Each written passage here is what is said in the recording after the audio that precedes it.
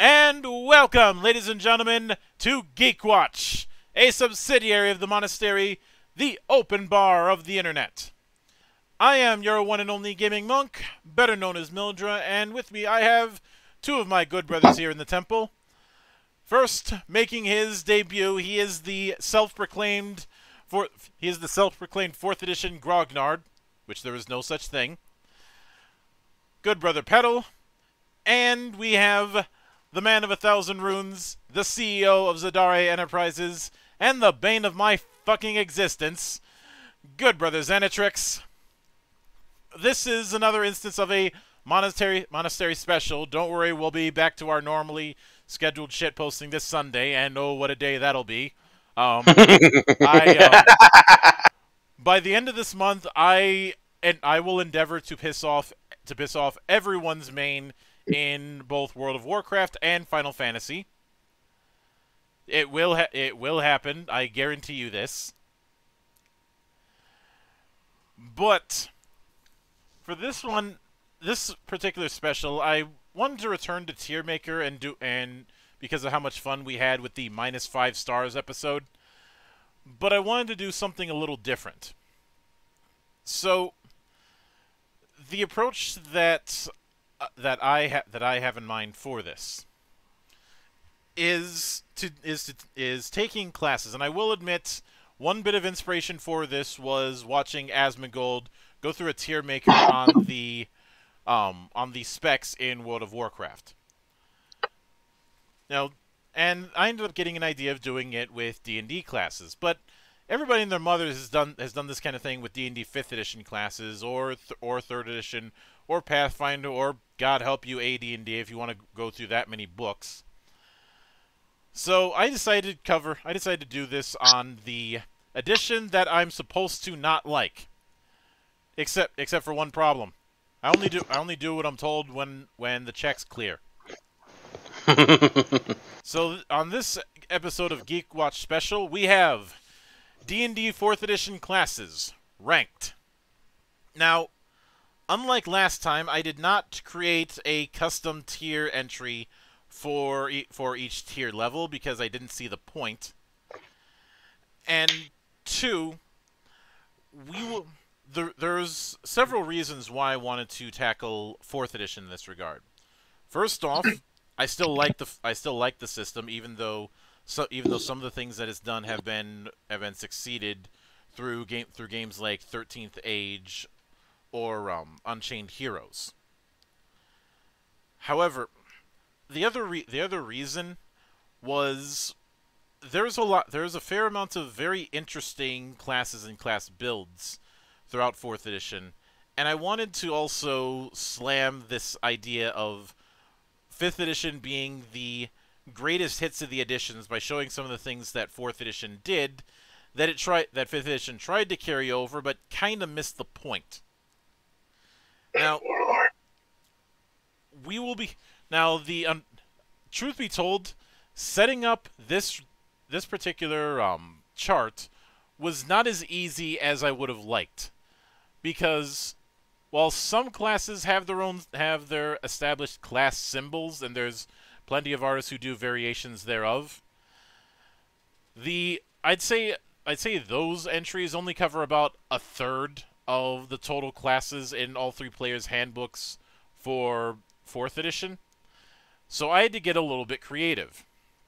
And I borrowed symbols from World of Warcraft, Emberwind, and Diablo, specifically Diablo 3, and um, Arch Arcleon Chronicles.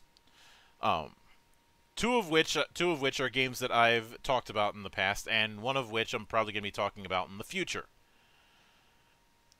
Now that being said, oh, and hey, hey there, Joel. Joel, good brother Joel, he made it. Hello. I did. Just got here. Hello. All right, talking about fourth edition. I am in. Yep, I was just I was just giving the giving a bit of the preamble. One of the main there's there are a few reasons why we're do why I why I went with fourth edition. One we do th this is the temple. We do things differently here. Hmm. Two, I'm only going I'm only going to start hating on 4th edition when the check's clear and so far each of, each time I'm told to do that, the check bounces. So, to quote one of my favorite movies, "Fuck you, pay me." or to, or to quote one of my favorite comic book memes, "I know you're here, Dracula, you big you big fucking nerd. Where's my goddamn money?" You're fucking crazy, Moon Knight. Wait, Dracula isn't an Avenger? that lying fuck. Hey, you got any ketamine? But with but in, ad- in addition in addition to that, as I mentioned before, there's some interesting classes and some interesting um, class designs. But another, but I also want to bring up um, a bit of a narrative that people have had about Fifth Edition that I find to be complete bullshit. That it, it that it is a uniting of the editions. Uh, I mean, there are some You principles that is of fourth that narrative came into game. My my argument has been there are elements from previous editions present, but they're present in a, but they're present in a way that that they don't coalesce together. Or in or in some cases, bringing in elements bringing in elements without understanding the context of why they why they were designed a certain way in the first place. Um, Yeah, there, there's an unfortunate amount of that in fifth. It, it's both too light and too heavy at the same time in a lot of ways. Um, I'm pretty, I'm pretty, I'm pretty sure in doing this, um, I'll add this to the list of reasons why Wizards of the Coast will ne- will ne- will never answer my calls. Not that I call them it, not that I've called them it in a while, except except to except to laugh about Seattle weather, or whenever the Seahawks lose. Or that, or that, one- or that one time I laughed at them because they couldn't get the paperwork right for one of their artists, and they ended up getting, they ended up getting stuck, getting um, getting getting stuck getting stuck at the airport. Or not in the not in the Oh, airport. They, they what for they um they screwed they screwed up the paperwork on one of their artists' passports, and and they and they got stuck in customs and then had to and then had to fly back. Oh, jeez. Let this be a lesson, folks. Get your paperwork in order before flying across borders. Yeah. It's, it's bad. It's bad enough having to. It's bad enough having to go through one. Having to go through one. Having to go through one flight. At least get something to show for it, like a lousy T-shirt. I was deported by customs and all I got was this lousy t-shirt. Um, but especially since, especially since, um, well, for me personally, I can't, I can't stand, f- I can't stand flying, no matter what airline I'm on, because um, tall guy problems. This Yeah. is why you. This is why you buy the upgrade to at least business class, monk. I fly standby. Sometimes I get lucky, sometimes I don't. Uh, Monk, you got it all wrong. You need to uh, ace in bioengineering and just graft wings onto yourself. Petals, have you ever read the story of Icarus? Yes. I am intimately familiar with that story. Then you know what. Then you know why that's a terrible idea.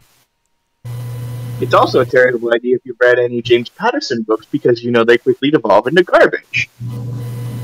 I don't read James Patterson. I ha- I don't hate money enough for that.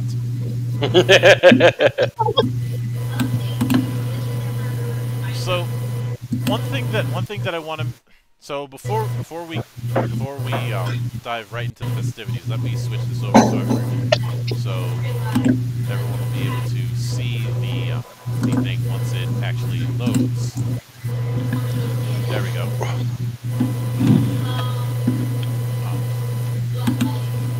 hang on, Joel. I got I got to adjust your volume a little bit. Alright, could be where you need me. You, Oh. you would do like the scales over here while you're doing like a oh kind of thing. No. Not no scales and no barbershop quartet. Cool. Those We are the only two notes I can hit. So, lucked out We don't- there. we have enough for a barbershop quartet. Problem is, I think the only one here interested in singing right now is me. Well, I'd be interested in being in a barbershop quartet. Denied. I'm just gonna go create. dreams. Goodbye, my Coney Island baby. Hello, my baby. Hello, my honey. Hello, my ragtime girl. I'm go I'm going to mm. throw things at you if I if I ever see you at a convention. You're gonna throw things people if you see them at conventions anyway, Monk. That's not a threat. And to me, it's just an invitation for a good time. Uh, no, you do not. You do not want Monk throwing things at you at a convention. That's not gonna be a good time for you. No. he might just choose to throw me at you That that and try or, and kill two birds with one stone. that or um that or cha- that or throw throw things and channel the and channel the spirit of Randy Johnson while doing so. i.e. the i.e. the man who made the man who um whose baseball got in a got in a fight with a pigeon and the pigeon lost because it exploded. I remember that. Good times. Good times. PETA got pissed off, but then again, it's PETA, so fuck him. Who do, who cares about PETA? PETA doesn't even save the animals they say they save. But We it- saved them in the way Yeah, that too- God yeah, saved besides, people wouldn't- on Earth with the flood. Yeah, they're too busy, uh, you know, releasing uh, crabs into fresh water and killing. Them all. But when it comes to now there's a few um there's a few factors that we're going to be judging when it comes to the classes and I want to make clear we're going with we're going with all of the classes from core and all of the cl- as well as a few class a few um setting specific classes in fact two of them and the classes from essentials no boy I'll have some things to say about essentials We all do. Now, the there are several factors that we're going to be judging these on. One of the first one is the uh, the um how well the class's design fulfills the fantasy that it's built around. Um, and the other the other thing is whether or not it gets, for lack of a better term, outclassed by uh, by other classes. And I was tempted to put these in put these in order of power or role, but I decided, you know what, fuck it, I'll just hmm. go in I'll just go in alphabetical for the base and alphabetical for the essentials. That's probably the best way to do it. I like those criteria, by the way. I think those are pretty insightful. Yeah, because Yeah, because you know, just like a base regular old tier list based on power gaming just gets boring after the five millionth time. I, I think people and, and people who have any experience with fourth ed, they already know. They know how they stack up against one another. They know what the most optimal classes are. It's not a mystery. Mhm. Not breaking any new ground. there. Yeah, everybody with went- halfway knowledgeable about 4E knows the assassin's awful. Yeah, so really cool in name. we so to get started we have the Ardent. The Ardent is what is a is a psionic controller, which um No, it was a leader. Oh, psion- yeah, psionic leader. Um, which me- which means it's an opportunity to talk about how psionics work, because Hmm. throughout throughout the Indies history, psionics has been one of those things that that has been experimented with getting introduced, but they were never able to nail down properly. Um, and even even even Ernie had had brought that up with me that they tr- that they kept trying, but it didn't work. Um, And part of the problem is that they always tried to make it like super unique from like the other sources of power you can get, and that's always created massive imbalances. Um, having it be unique from the others is not, is not necessarily a problem, especially since some. I remember some Just the designers are never that skilled enough to make it work. the the pro the problem the problem oddly enough was that um in a lot in a lot of cases they did their job a little they either did their job a little too well or they did their job not well enough because it was it was essentially a hyper focused type of um type of casting now the the way that the way that the way that um, fourth edition handles psionics is something that I find interesting. The, so, most classes have the AEDU formula: at wills, encounters, dailies, and utilities. Psionic classes, for the most part, don't. There is one exception, but we'll get to that later. instead, they get more at wills than anybody else. Their encounter powers is their psionic points that they can use to modify their some of their at wills. So, in doing this, the psionics actually do have a niche of being of being the most um, freeform in terms of their tactics. Oh, we should probably put a little thumb in there, and that the uh, no encounters thing does not imply uh, apply to utility powers. I, fi- I figured that I figured that was obvious. That's what that's why I brought it up the way the way I did. Um, But you know, some of the viewers might not be aware of that. Yeah. Um, flavor wise, psionics are psionics are uh, ardents are kind of weird because the way the way that they're described, they're the kind of person who in in um wa- in walking past a funeral might burst out crying, or or just just being just being this emotional sponge based on based on the emotions going around them. Yeah, the Ardents like they wanted to do like some sort of telepath, but they didn't want the really uh, sometimes creepy flavor of guy who mind fucks you. Yeah, they they they do they they do get they do get um good healing at at Par- at Paragon at Paragon tier, mostly because in their early in their early runs, a lot of their healing is based around temporary hit points. Um, they're all they're also very but they are very they're very good at um at da- at daily dropping. Um, the big prob the big problem with them is that they're compared to compared to other leaders, they're not very good at defense, which is why the common tactic for Ardents is um is shield is shield and poker.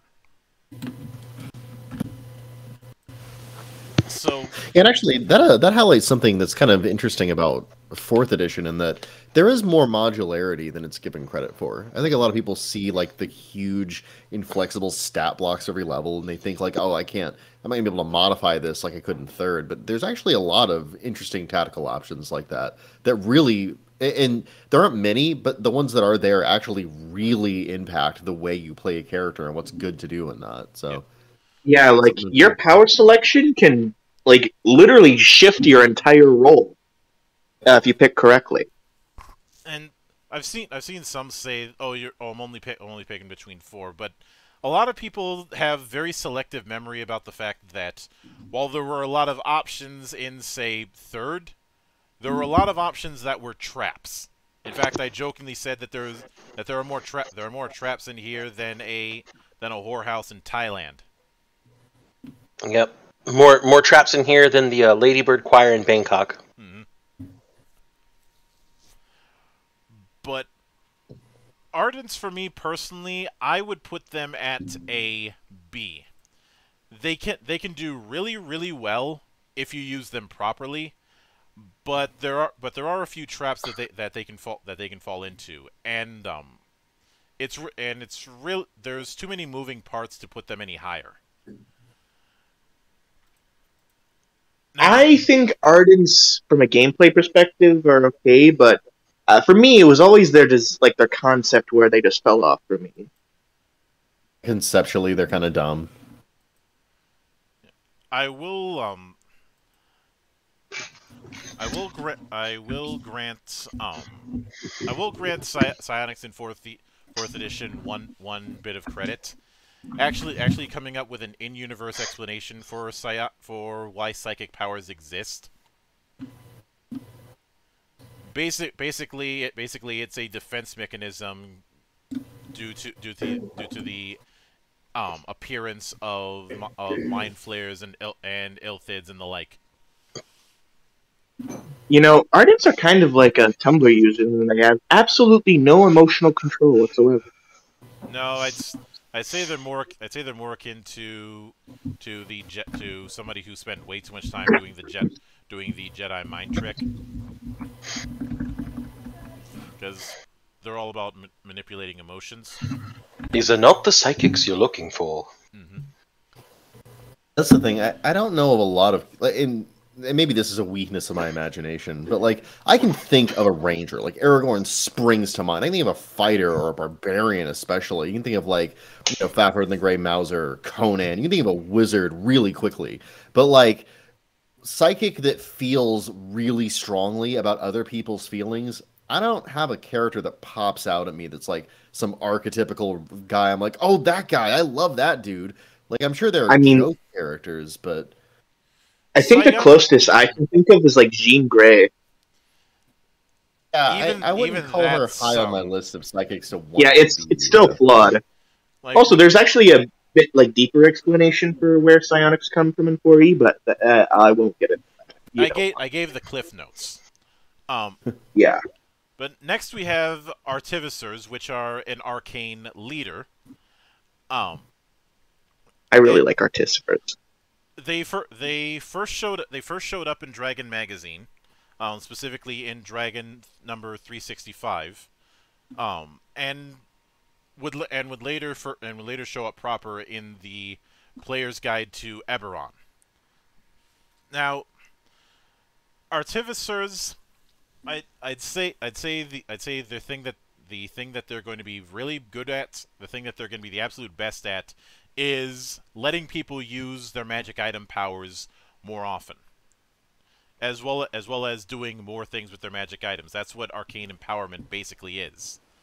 Um and arcane rejuvenation just let just lets them he, just lets them heal allies whenever they use the daily power of a magic item.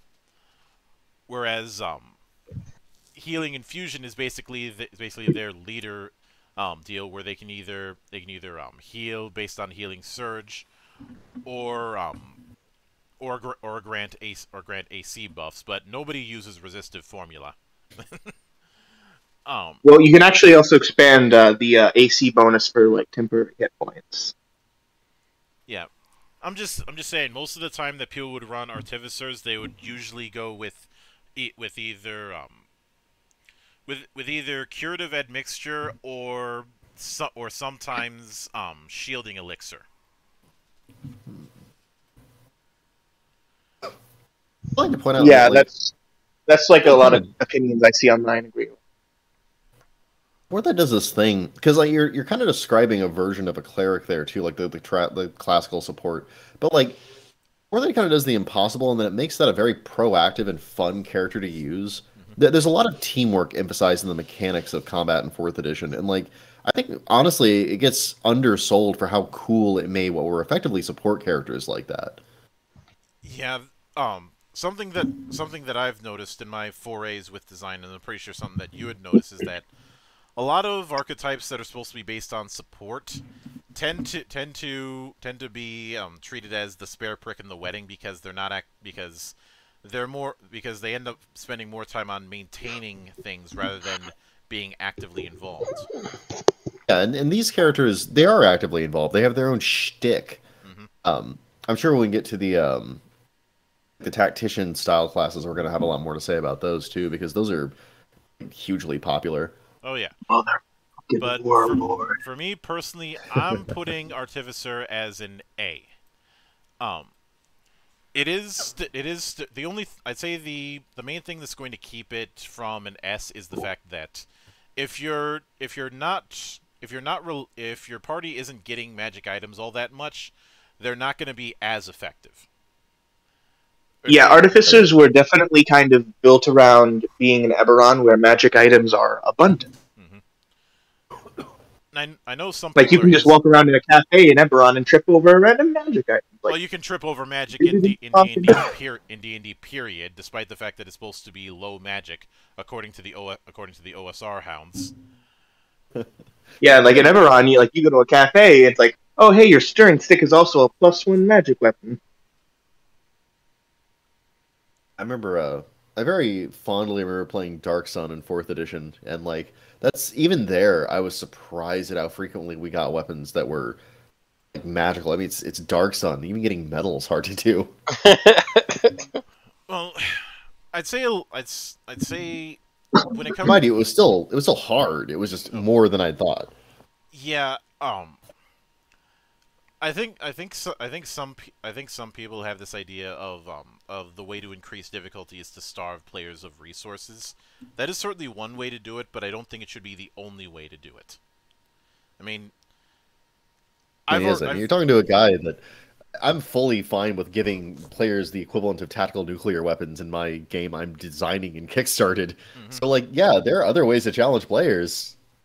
You don't, you don't have to deprive them of resources. As a matter of fact, think it's impossible to deprive characters in certain games. Like, and, and actually, Fourth Ed has that in common with like Exalted, where the the deadliest thing is a powerful martial artist in their bare hands. Mhm. And like this game has a lot of that too, where even if you disarm characters, they have so many options and so many abilities, and their teamwork is still such great synergy. It's really hard for that to be an actually viable way to challenge them. which um is kind is kind of funny because I I see a complaint about Fifth Ed about how after once you get into the teens you're you're not you're not challenged anymore. You feel like a, s- you end up feeling like a superhero. It's a really high power scale. Uh, power scale. The funny thing the funny thing is there's nothing I don't think there's anything wrong with feeling like a with feeling like a superhero, but it all much in the same way that feeling like a oh, feeling like a badass in an action game. There's nothing wrong with that. It's in the it's in the context of how. Like if you're ju- if you're just mo- if you're just mowing if you're just mowing a bunch of people a bunch of people down with no- with nothing to challenge you, that's that's gonna get boring quick. And I know somebody's gonna say, well, what? Well, you you you love the you love the Dynasty Warriors games. Isn't that the same thing? No, it's not.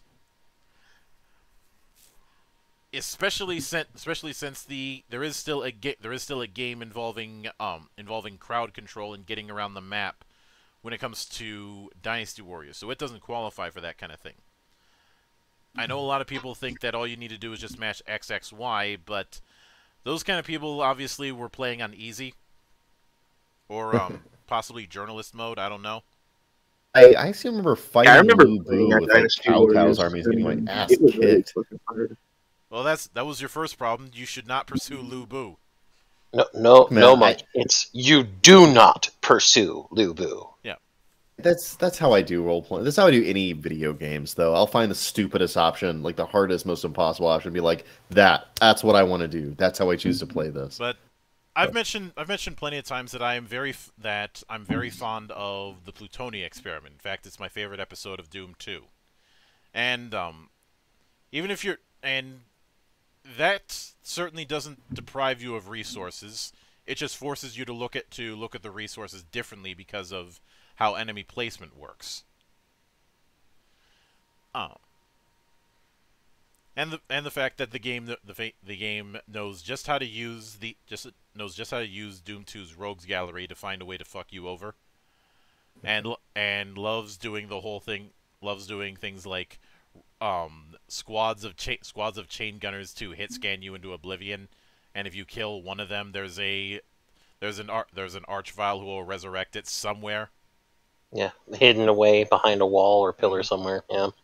Um, Monk, I, I, I- I hate to, I hate to do this to you, but uh, Rails. Yeah, yeah, I know. Um, so next up is Assassin, Ooh. and um, this was this was exclusive to Dragon to Dra- Magazine. to Dragon Magazine. Um, it did not it did not I think in it- any of the in the, any of the heroes books. Oh. Well, there was the uh, Executioner variant, but we'll get. Yeah. Now, the the um first first off, the the I'd say the I'd say the assassin is a victim of bad timing because it was coming right along this right along when fourth edition was in de- in the decline because because nobody could figure out whether or not everybody was supposed to move over to the essentials classes or not. Um, the idea of give of giving them a whole new pow- a whole introducing a whole new power source in the form of shadow, I think was a I think was a bad idea.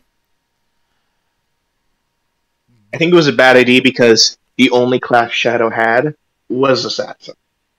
Yeah, the idea the idea of a shadow power source is is is nice, especially since the Shadowfell had been an had been an established um plane, and races like the Shadarkai base basically live there. You know, that it?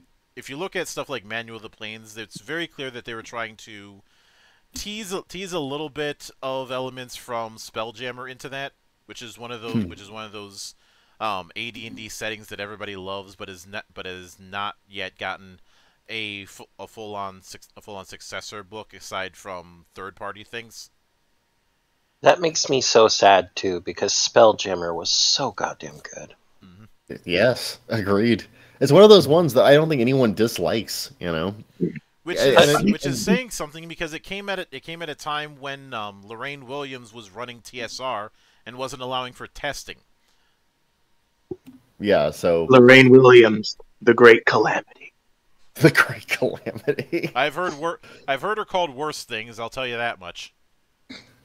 I'm guessing Ernie's one of the ones who said those worst things about her. No, Ernie was Ernie was. I didn't bring I didn't bring her up at all when it came when it came to that. And I'm pretty sure Ernie was already out. Pretty sure both Ernie and Ward were already out of the company by then. Um, and if anybody and so the people from TSR that I've talked to, none of them want none of them want. I'm pretty sure none of them would actually want to talk about her. Um, they would, they would, and truth be, but the the big problem that I, the big problem that for me personally, assassins are a D. I like a lot of the flavor. I like the concept of the sh- of using the Shadowfell as a power source, but they are outshone by but but thematically they're outshone by two Like- classes: the Avenger. The Avenger. The Avenger just does like the Rogue. everything they do, but better. Yeah, the big pro- the big problem is there sh- is, I think I think if I think if they came out earlier, like if they came out as a as a side grade to, say Martial Power or something like that, or e- or even if there was a Shadow Power book, maybe they maybe they could have gotten a better shot. But such was not to be. Uh, important question. Also, though. mechanically, they're pretty uh not good. I- important question for my rating monk. Do they have any sort of skills or powers named Requiescat and Pace? No, this was a few years before that. Well, then they get an F. Unfortunately, we don't have we don't have that. In my Assassin mind, I an F from do. Me because it's written by Merle Pearly. You and your hate boner for Mearls. Um, I will never stop. look, Yeah, I, I, I think you're right about like thematically. I think the rogue completely whales them thematically, and the Avenger just defeats them as far as mechanically. Because I mean, like what, what, with assassin, that's such an iconic idea. It's so versatile. Like so many different kinds of characters could be assassins in different ways. If you tie them that specifically to a particular setting and give them these really particular powers, it's less a general assassin and more like a really specific D and D ish thing. You know, it's too copyrighted. It, it kind of I don't know. It hurts the fantasy. Also, yeah, mechanically, also- I'd also like to say that the assassin just doesn't really make sense. It's like okay, so it's like controlling shadows, but it's called the assassin. It's Right, a striker, but it has people, like no good striker powers to like Paragon. yeah. it's supposed to. There's also the fact that it's that it, that the primary defining talent for it is supposed to be based on the assassin's guild that you're that you're associated with. The prob the problem the problem is much like much like the problem that people have with warlocks, myself included. Um, that cho- that choice of guild doesn't have um, doesn't have a whole lot of mechanical weight, and fourth edition more so more so than o- more so than other editions was actually making an honest to god attempt at creating a default setting, that being Nentir Vale, with the whole points of light and all, and all of that, instead of instead of the will they won't they attitude that for that um for that fourth edition has had for, has had for the longest has had for the longest time. You mean fifth edition? Yeah, fifth edition. And then you have uh, 3.5's uh, it's a Greyhawk, but it's not. Well, not just not just that, and this is something that this is something that I've ranted on for years. But D and D has had the, has had has had this shit or get off the pot attitude regarding what type of fantasy it wants to be. because it wants to try and be all of them, but it, in doing so, it achieves exactly none of them. Precisely. Yeah, D&D really needs to start focusing on its own signature brand of fantasy because, like, let's be honest, like D&D has a very specific evocation of what type of fantasy you're playing. It Yeah. May have, it, the yes, it is true that in its early days it was a hodgepodge of stuff that Gygax and Arneson happened to like.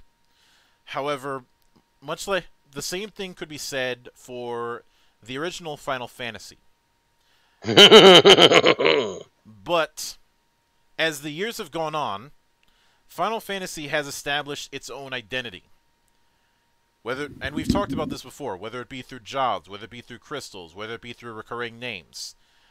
You're going to be able Well- to differentiate a Final Fantasy project from a console style RPG project. yeah, Final Uh, Fantasy V will is always still my have favorite. which one? Final Fantasy Five. Five's pretty good. Yeah. Um, But yeah, like the Assassin is to 4E classes, with the American GT opening is to Dragon Ball openings.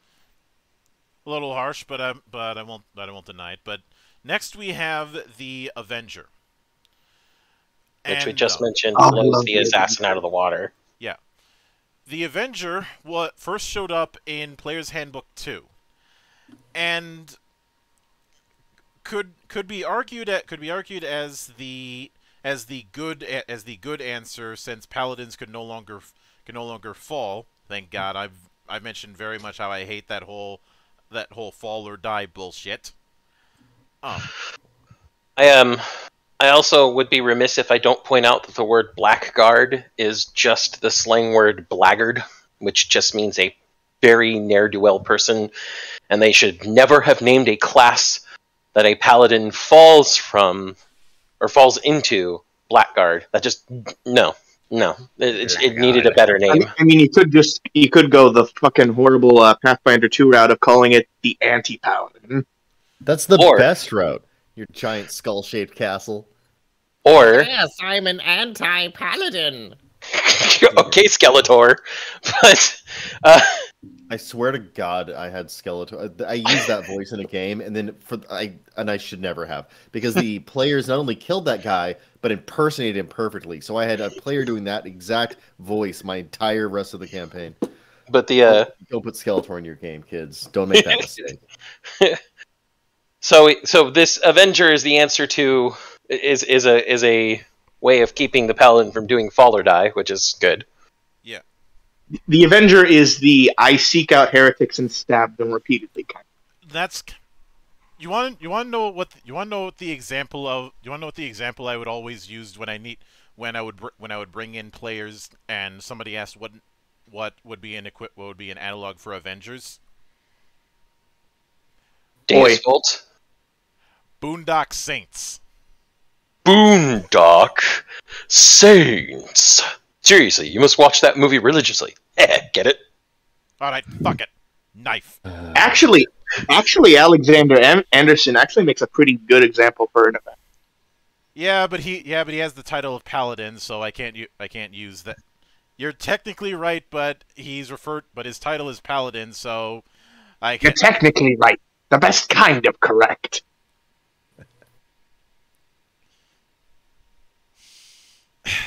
anyway He missed it by one word. but We'll get him next time. I use I use the Boondock Saints because because their whole, the whole stick with them is they feel that they are called by God to to um exterminate organized crime. Um, in the same in the same way, a aven- a Avenger fe- Avenger feels that it's part of their duty to to root out the enemies of their faith, and uh, and other other members of that faith kind of look at them side eyes. They're glad that they're on their side, but they look at them kind of like loose cannons. I- I think like paladins like view Avengers like the ecclesiarchy views the Inquisition, Yes. except with a whole lot less grimdark. No, depending on setting. hmm Um. Now, the Avenger, the o- the Avengers' main claim to fame is the Oath of Enmity power, where, where um, where where they hate they hate they have so much hatred for some for someone that they may as that they may as well claim to have the armor of contempt from 40k. Um, however, the the the big the big disadv- the big disadvantage is that if you have more than one enemy adjacent to you, the oath doesn't ex- doesn't work.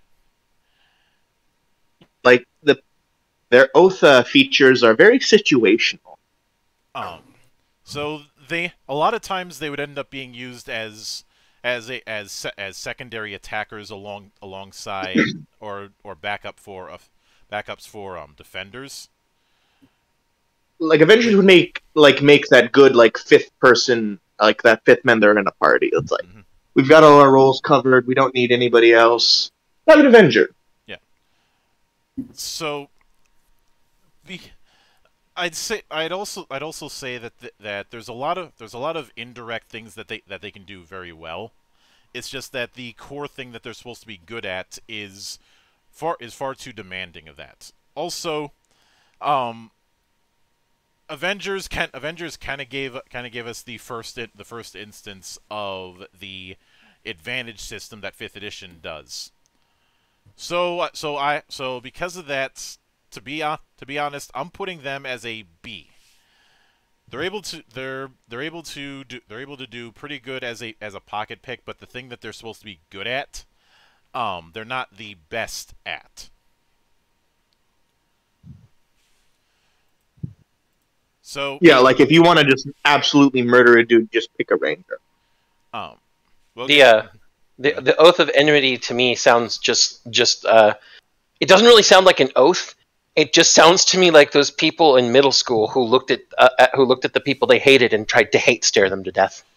truth be truth be told, um, the oh, the way I the way I see the the way I see something like the oath of enmity, it should be treated it should be treated like one of one of the um, one of the two holy artifacts we have here in the temple, Oh God, the Holy Book of Grudges.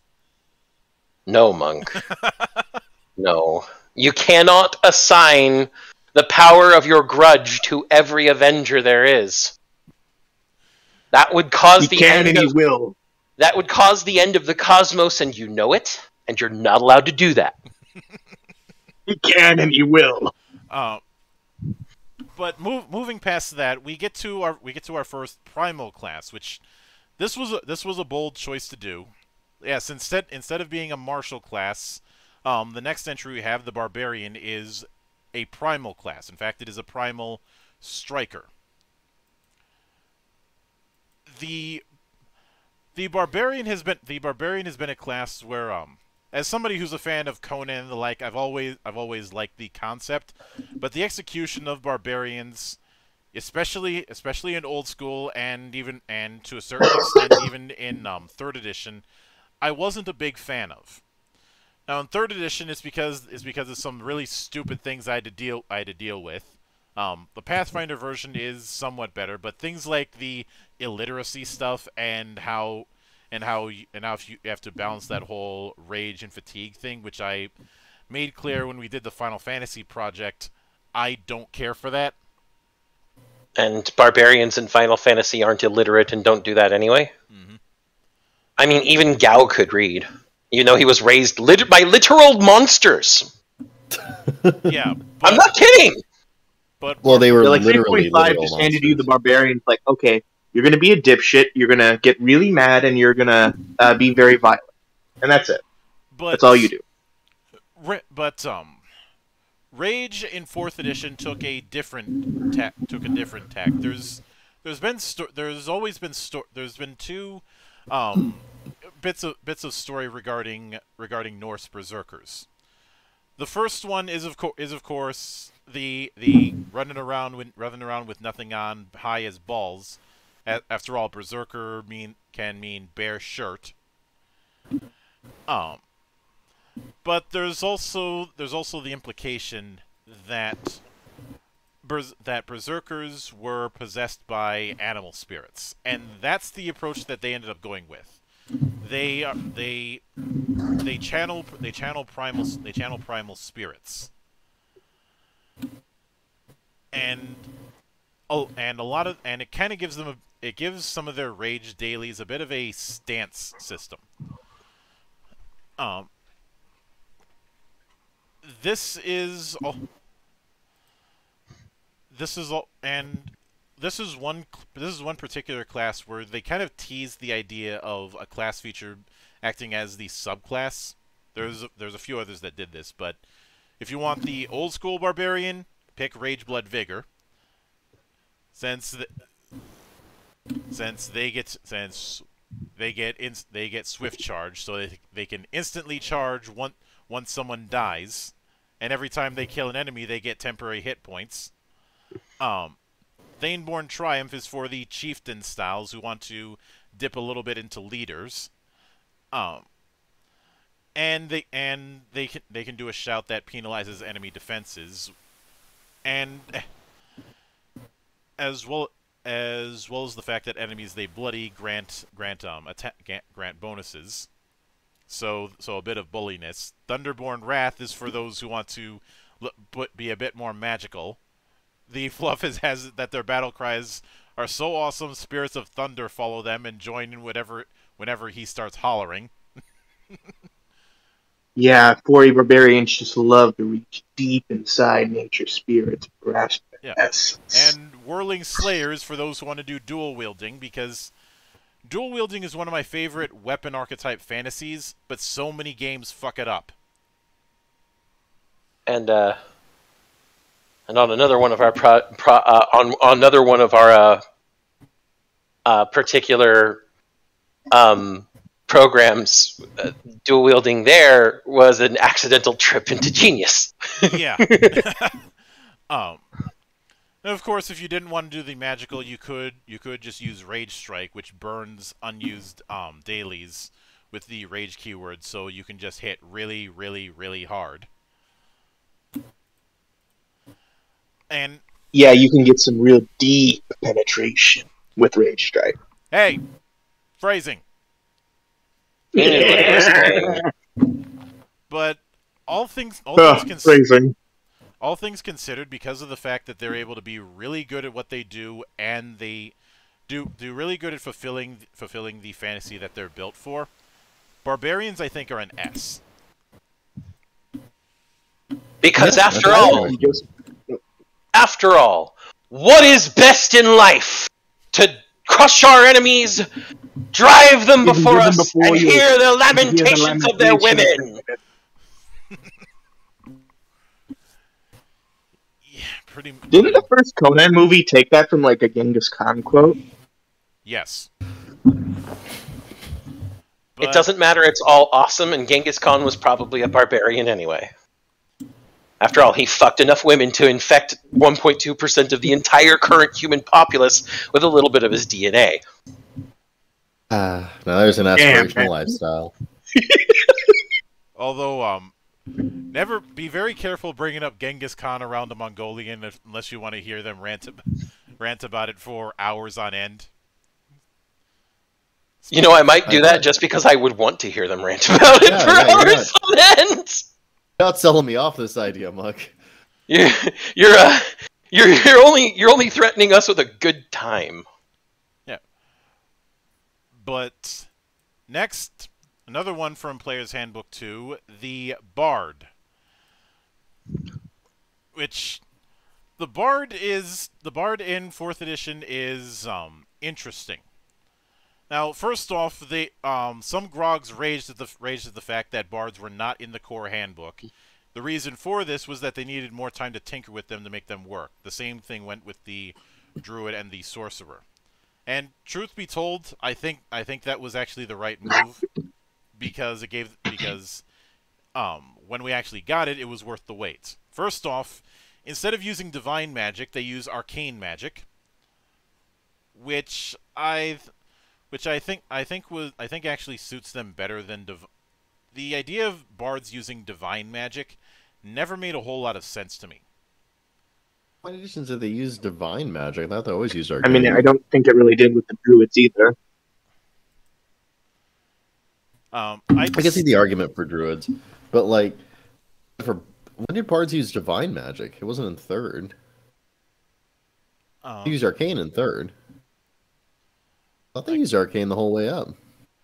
I may I I may be I may be I may be fl- I may be flipping on this, but um, of co- of course, if I brought up the AD&D version, well, AD&D bards were a mess. Let's just leave it at that. They were a fucking. mess. Yep, bards bards in third cast arcane.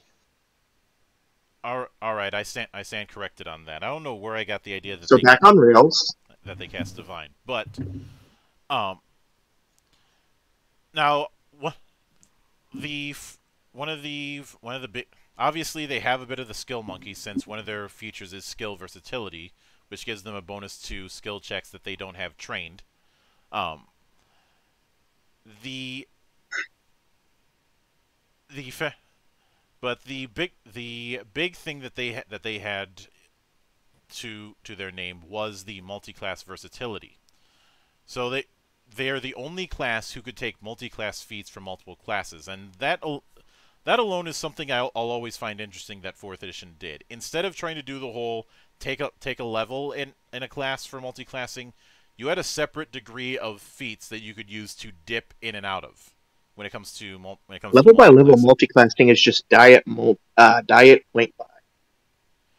Well, the problem Level by that- level multiclassing is diet 3.5. The problem that it, the problem that ends up happening with that le- with that level based multiclassing as it's presented in in th- in three point in three point five and in five is you end up doing a lot of work for something very specific that you're trying to get, and it means you have to take a lot of bullshit in the process. When if anybody's multiclassing, they're multiclassing to get something specific. They splash, yeah. This is the reason why the phrase dip class became a thing. Dip class. This is the reason why even a thought experiment as horrid as Pun Pun the Magic Kobold still requires three fucking classes. Mm -hmm. Yeah, yeah, yeah. I, I don't. I'm not sure that multi-classing was the brilliant innovation the third edition guys thought it was going to be. It wound up being disappointing in that edition, and then it almost universally only played to power gamers since then. It also has like the problem where classes end up not getting the signature thing they're really good at for several levels. Hence, like 5e paladins not getting smite till second fucking level. Yeah. Now, the other there's also there's also there's also stuff like Song of Rest, which get which lets them which lets them spend healing surges more. But um, I'd say, and obviously, the, obviously their subclass feature is their Bardic Virtue. Um, the core one, the er, at the start you had um, Virtue of Cunning, so slide out, so it whenever an enemy whenever an enemy misses, you can you can slide that ally a bit. Um, Valor grants temporary HP to an ally who bloodies or kills an enemy, and then Arcane Power introduced the the virtue of prescience, where you can interrupt interrupt enemy attacks by by adding a Wisdom modifier to that ally's defenses. Truth be truth be told, um, most pe- most people I know who played Bard played um played cunning bards. Didn't see a whole lot of people doing doing valor or prescience. Yeah, again, prescience I think is a little too narrow of an idea. You can like cunning bard is almost like the archetypical bard, you know. Mhm.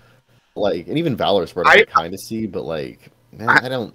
There's get also future there's sight also the fact that um sli- shifts um shifts in for, in fourth edition are extremely powerful. Because when when you shi when you shift, especially when you're dealing with um, melee fights, um, that if that enemy has to pursue, you're giving you're giving them a chance you're giving them a chance to do an attack of opportunity.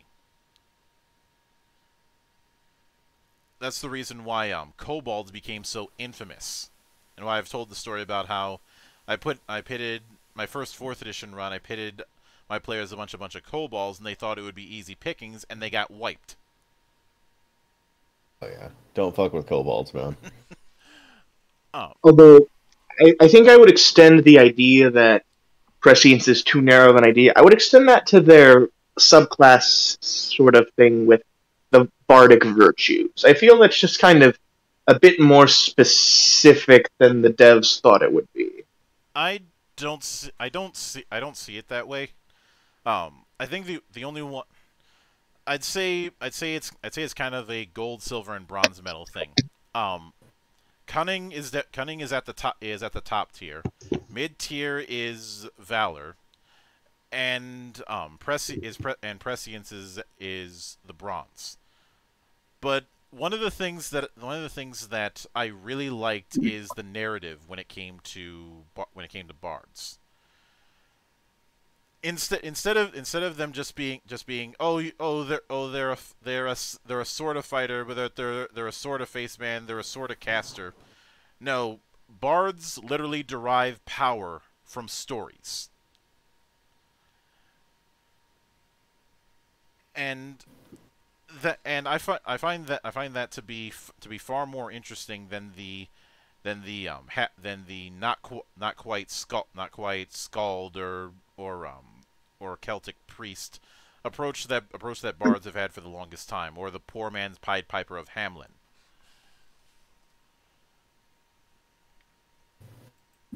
And it's for that Um, reason that somebody I'm- can correct. Oh, sorry. I'm putting bards in as an A. They've Yeah, I'd say that. I'd say the the only thing the only thing that stops them from being an S is the fact that they don't that the fact that they don't have they don't have as wide a degree of versatility within their role as barbarians do. Yeah, I, I think there's something more combat applicable about being able to berserk and being a big, strong muscle guy. Uh, it does kind of give barbarians the leg up. I think you, Well- they, like bar, bars are cool conceptually, but they're kind of beside the point of fourth edition a little bit. I think you're right. I think that kind of changes their tier a little. Well, if the the reason the reason why I say that is something that something that I made clear with barbarian is that there's a bunch of di- is that there's a bunch of different ways that they can do the do the berserker thing and still be and still be somewhat with still be within their particular niche. Whereas the bar, whereas the bard i the bard um dips into so many The tools. bard is doop, doop, magic flute. I know you're right. The the bard kind of loses focus as he branches out, whereas the barbarian keeps a tight focus but has actual distinct options. Yeah, that's a good point. So next we re- we return to um we return we return to psionic classes with the with art with in my personal opinion the single best defender archetype Ooh. in fourth edition. That being the battle mind. They are they and a are the best- surprisingly effective class, yeah. they are the best defenders. Others can others can mark or hit or hinder. Battle minds are punishers. They are they are they are tough motherfuckers on, on their own. But bat, but their marking um, mechanic, Battle Mind's Demand, isn't just a penalization like it is for say Fighter. It lets they have a specific at will that is tied to it. So if that foe hits, they can immediately fuck them. Yeah, like they teleport to them and do the damage they dealt to the ally, if I remember correctly. No. Um. The th- the other th- the other thing is that they is that they can they can really stack up resistances. So they so Ooh, yeah. Battle minds are durable motherfuckers. they're dur- they're durable motherfuckers and they are very good at punishing allies that uh, not allies but enemies that do not attack them. Instead of instead of just softening the blow of enemies' attacks to to their allies, they they make it so that if you don't if you don't start focusing on him, you're gonna keep getting your ass kicked. So battle minds are an S. Battle minds also have the uh, awesome pleasure of having the amazing brutal barrage. Oh, I think it, I I remember playing a um a dragon a dragonborn um battle mind at one, at one point, who took Iron Guardian as his Paragon path and was a, and was a fucking wrecking ball.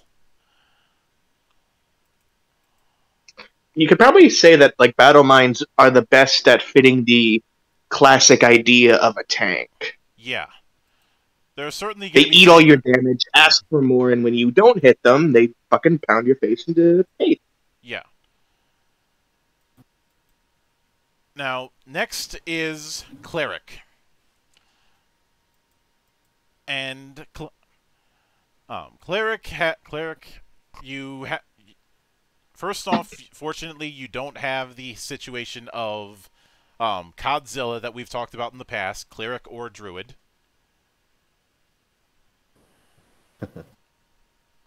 Do do do do do do do do do. But for for a lot of people, the cleric is the fourth edition cleric is the quintessential example of the le- of the leader um, role. The dynamic leader. One th- this is and this is where I want to bring up the he- the um the reason why fifth edition's attempt at hit dice, which is suppo- which is supposed to be an answer to healing surges from fourth, really isn't. The reason why The healing surges, but like giving them lobotomy.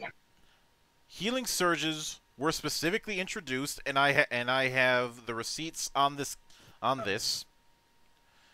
They were introduced as a, as a means to keep the he- to keep um to keep out the heal bot problem, because that had been a problem in third in third edition where. Because they were the most reliable type of healers, it was almost a necessity to have a cleric in your party. And if you didn't, a bunch of gold to buy wands of cure moderate wounds. Right, and it it unfortunately is in that Venn diagram of both nece- necessary by the way the game is expecting you to play it, and really boring in that there's not much option there. You just use the best healing available to you in the most plentiful supply, the moment it is most effective. Like that's it. Of course, It's really it's such a no brainer thing. There's yeah, it's like you, you can be a healer in 3.5 and be literally brain. But the, the hit dice in fifth edition aren't strong aren't strong enough to fill that particular niche. The, ca- I mean, first off, it's a variant rule about whether or not you can even use them in combat. um, even if e- even if you're using them outside of combat, it's it's still not good enough. It's shite. Because because if you if, if you get if you get your ass kicked in a fight and you and you decide to take a short rest to try and heal up, you have to be praying to the dice gods that you end up rolling in, that you end up rolling enough high numbers on your hit dice to actually heal you a, signi- a significant amount.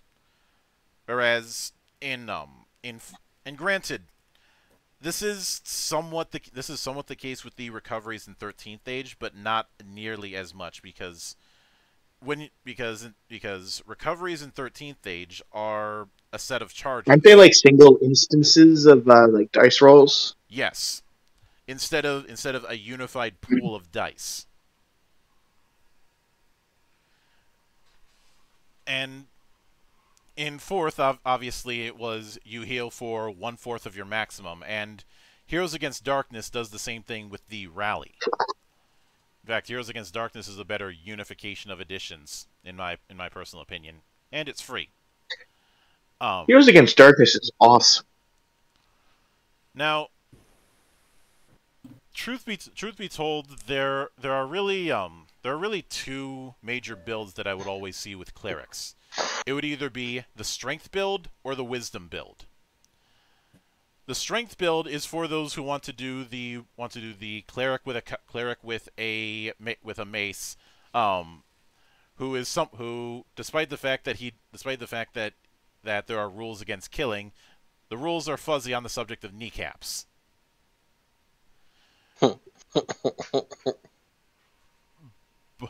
There's there's Ah, yes, strength clerics, also known as diet paladins. um whereas wisdom clerics of were, were often nicknamed laser clerics.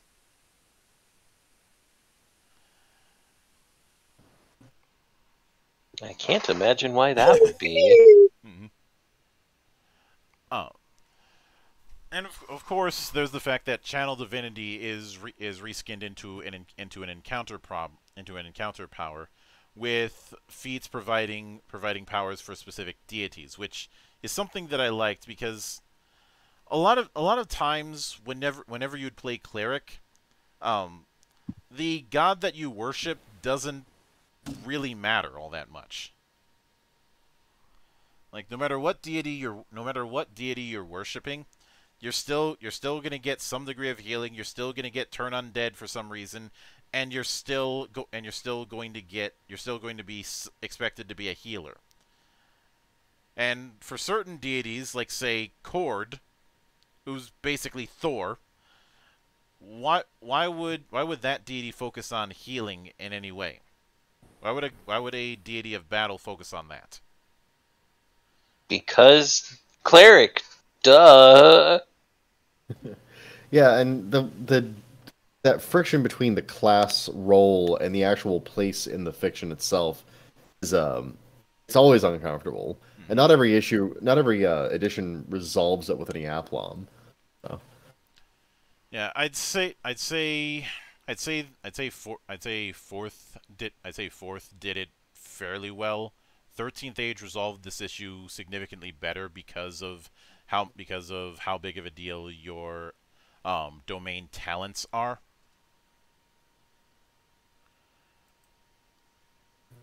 But Yeah, 13th age clerics are probably my favorite types of clerics.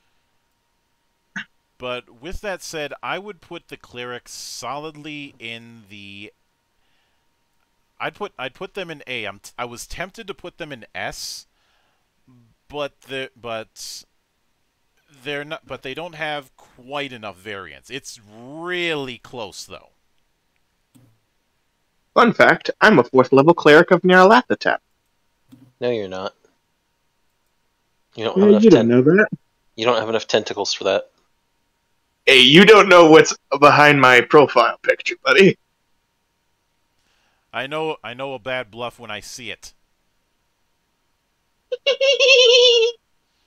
So next. i- Next is, sorry Zan, but I have to, the Druid.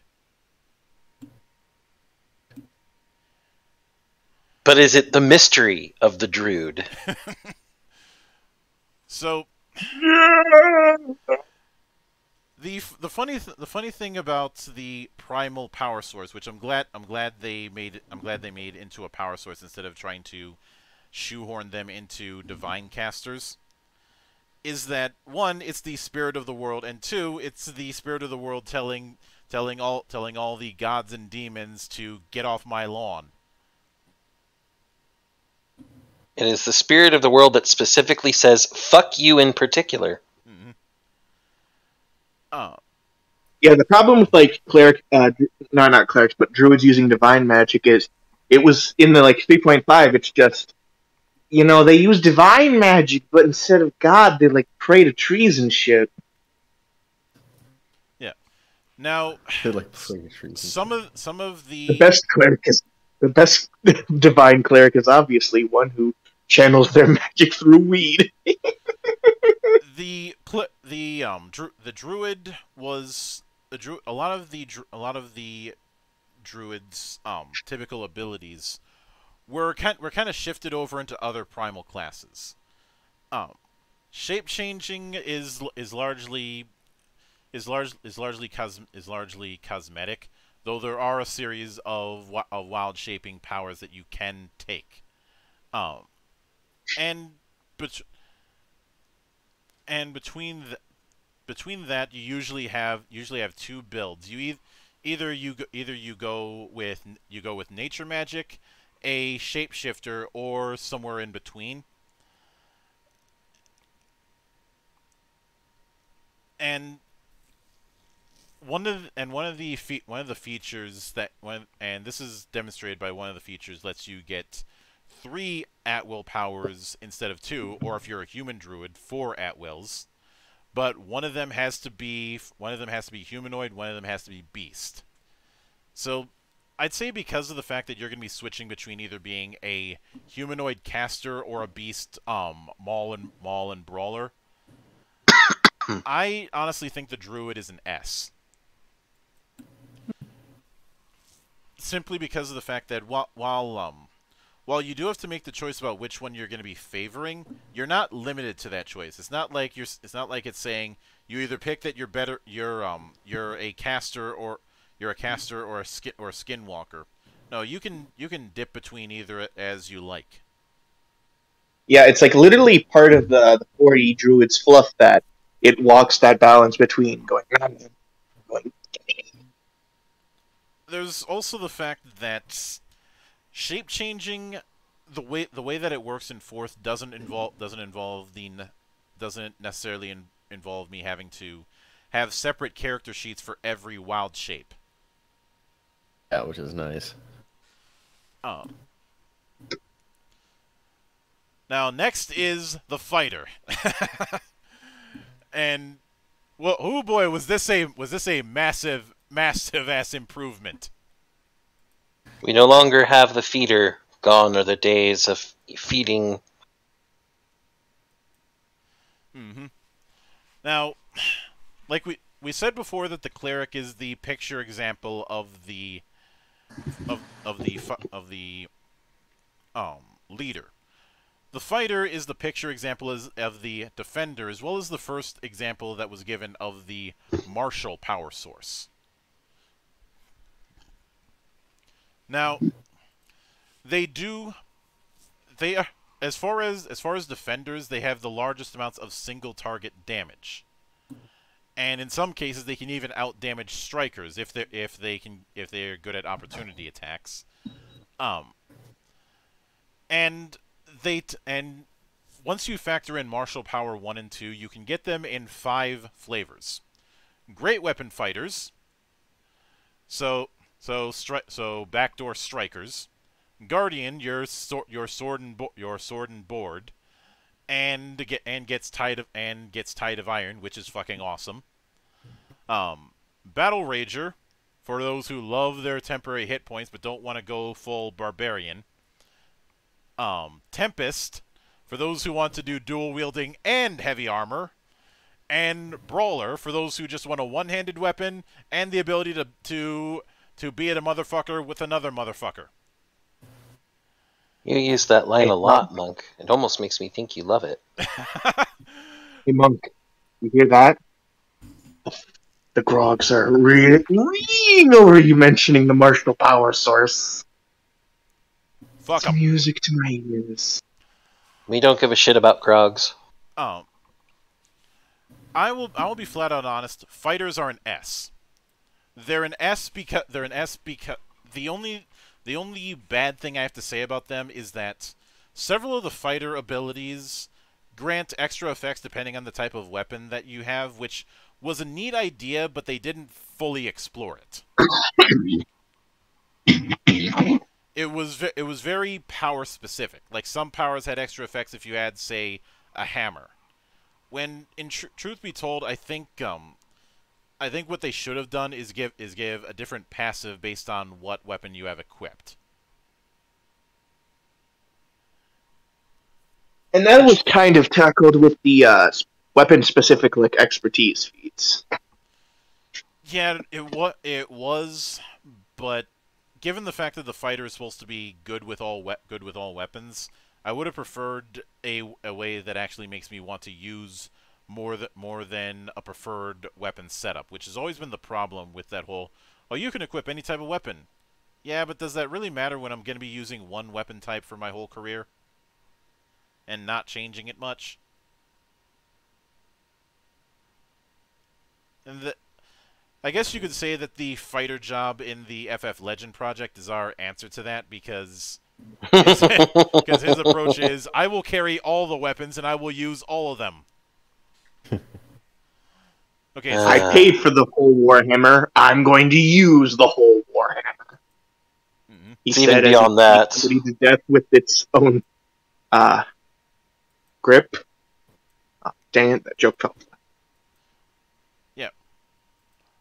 but uh, and of course, the, of course, the brawler build can also be used for for the whole human shield maneuver, and it and that particular type of build was something that theoretically you could do in the past, but in but using third edition grappling rules is a case of let's not and say we did. How about let's not and say we didn't? Third edition grappling rules and by extension fifth edition grappling rules are fucking terrible. Mm-hmm. What third edition grappling rules? I don't know what those are. Those don't exist. You lie, monk. exactly. Exactly. Oh, now I just remembered an old uh, fourth edition uh, teaser commercial where, in the three point five segments, like I grapple the troll. It's like, what's that, That, do wa- again? that wasn't a that wasn't a commercial. that was the te- that was the teaser for fourth edition's announcement at Gen Con.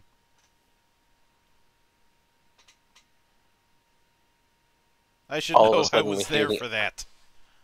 We hear the other shoe drop. Um. Now, next is Invoker. Um, Invoker is not to be confused with Evoker. And the the fluff of them is some is something that I find in that I find interesting. The idea of them is that they are divine controllers who have a more direct relationship with their god than clerics do. They're sort of like divine warlocks. In other words, they're on a mission from Gad. Damn it.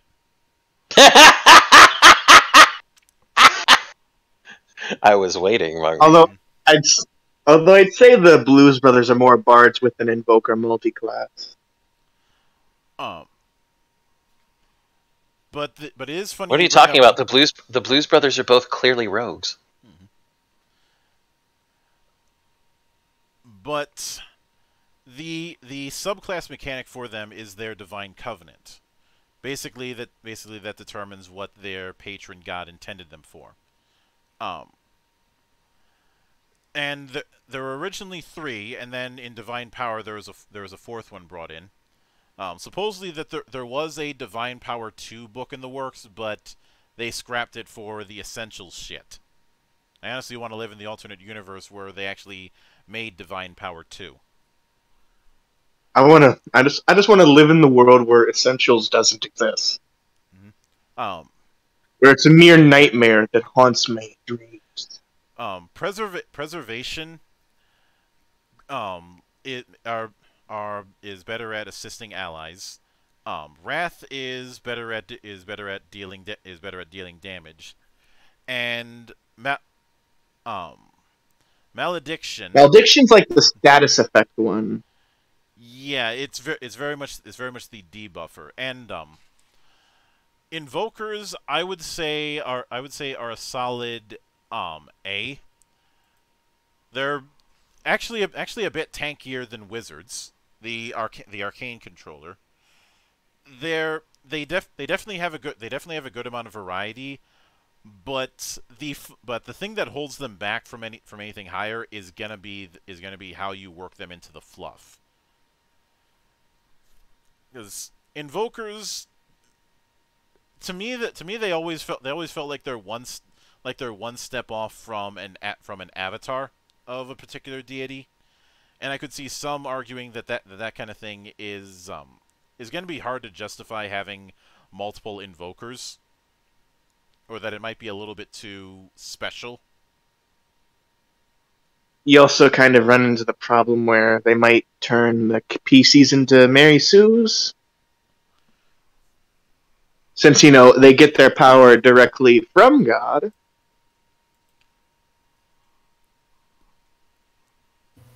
Yeah.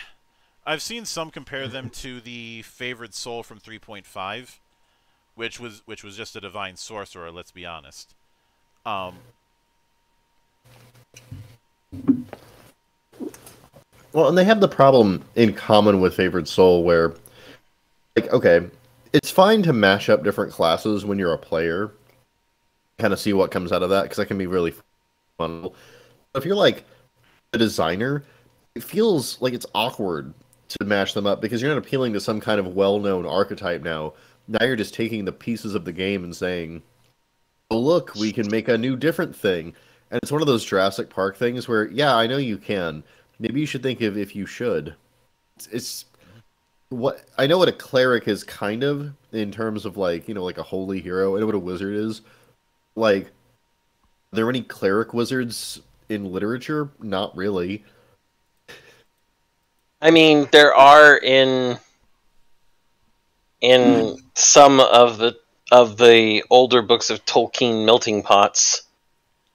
Um, and then of course, then there's the fact that settings novels based off of the idea of the cleric from D and D expanded upon them. But that's you know that's the cart Uh, before the horse at that point. I, And then, if you really want to stretch uh, definitions and split hairs, uh, you can uh, mention the fact that in uh, Tolkien's uh, setting, Middle Earth, wizards are outright divine beings. They don't like to use arcane magic; they use divine magic. it seemed like arcane magic in a Tolkien setting would be like a horrific evil thing. Yeah, I think that's I think that's like part of the thing with Tolkien. Well, But you know, the guy was a devout Catholic, so that's really to be expected. I'd say it. I'd say it. I don't think. I don't think his Catholicism factors into it, but more of the fact that there's an implied subtle. There's an implied subtle magic in everything in Middle Earth, where even even using even using wor- even speaking words that ha- that have some degree of power can have a tangible effect. Uh, the old words of power schema is always nice. Um, But there was magic outside of the magic of the wizards.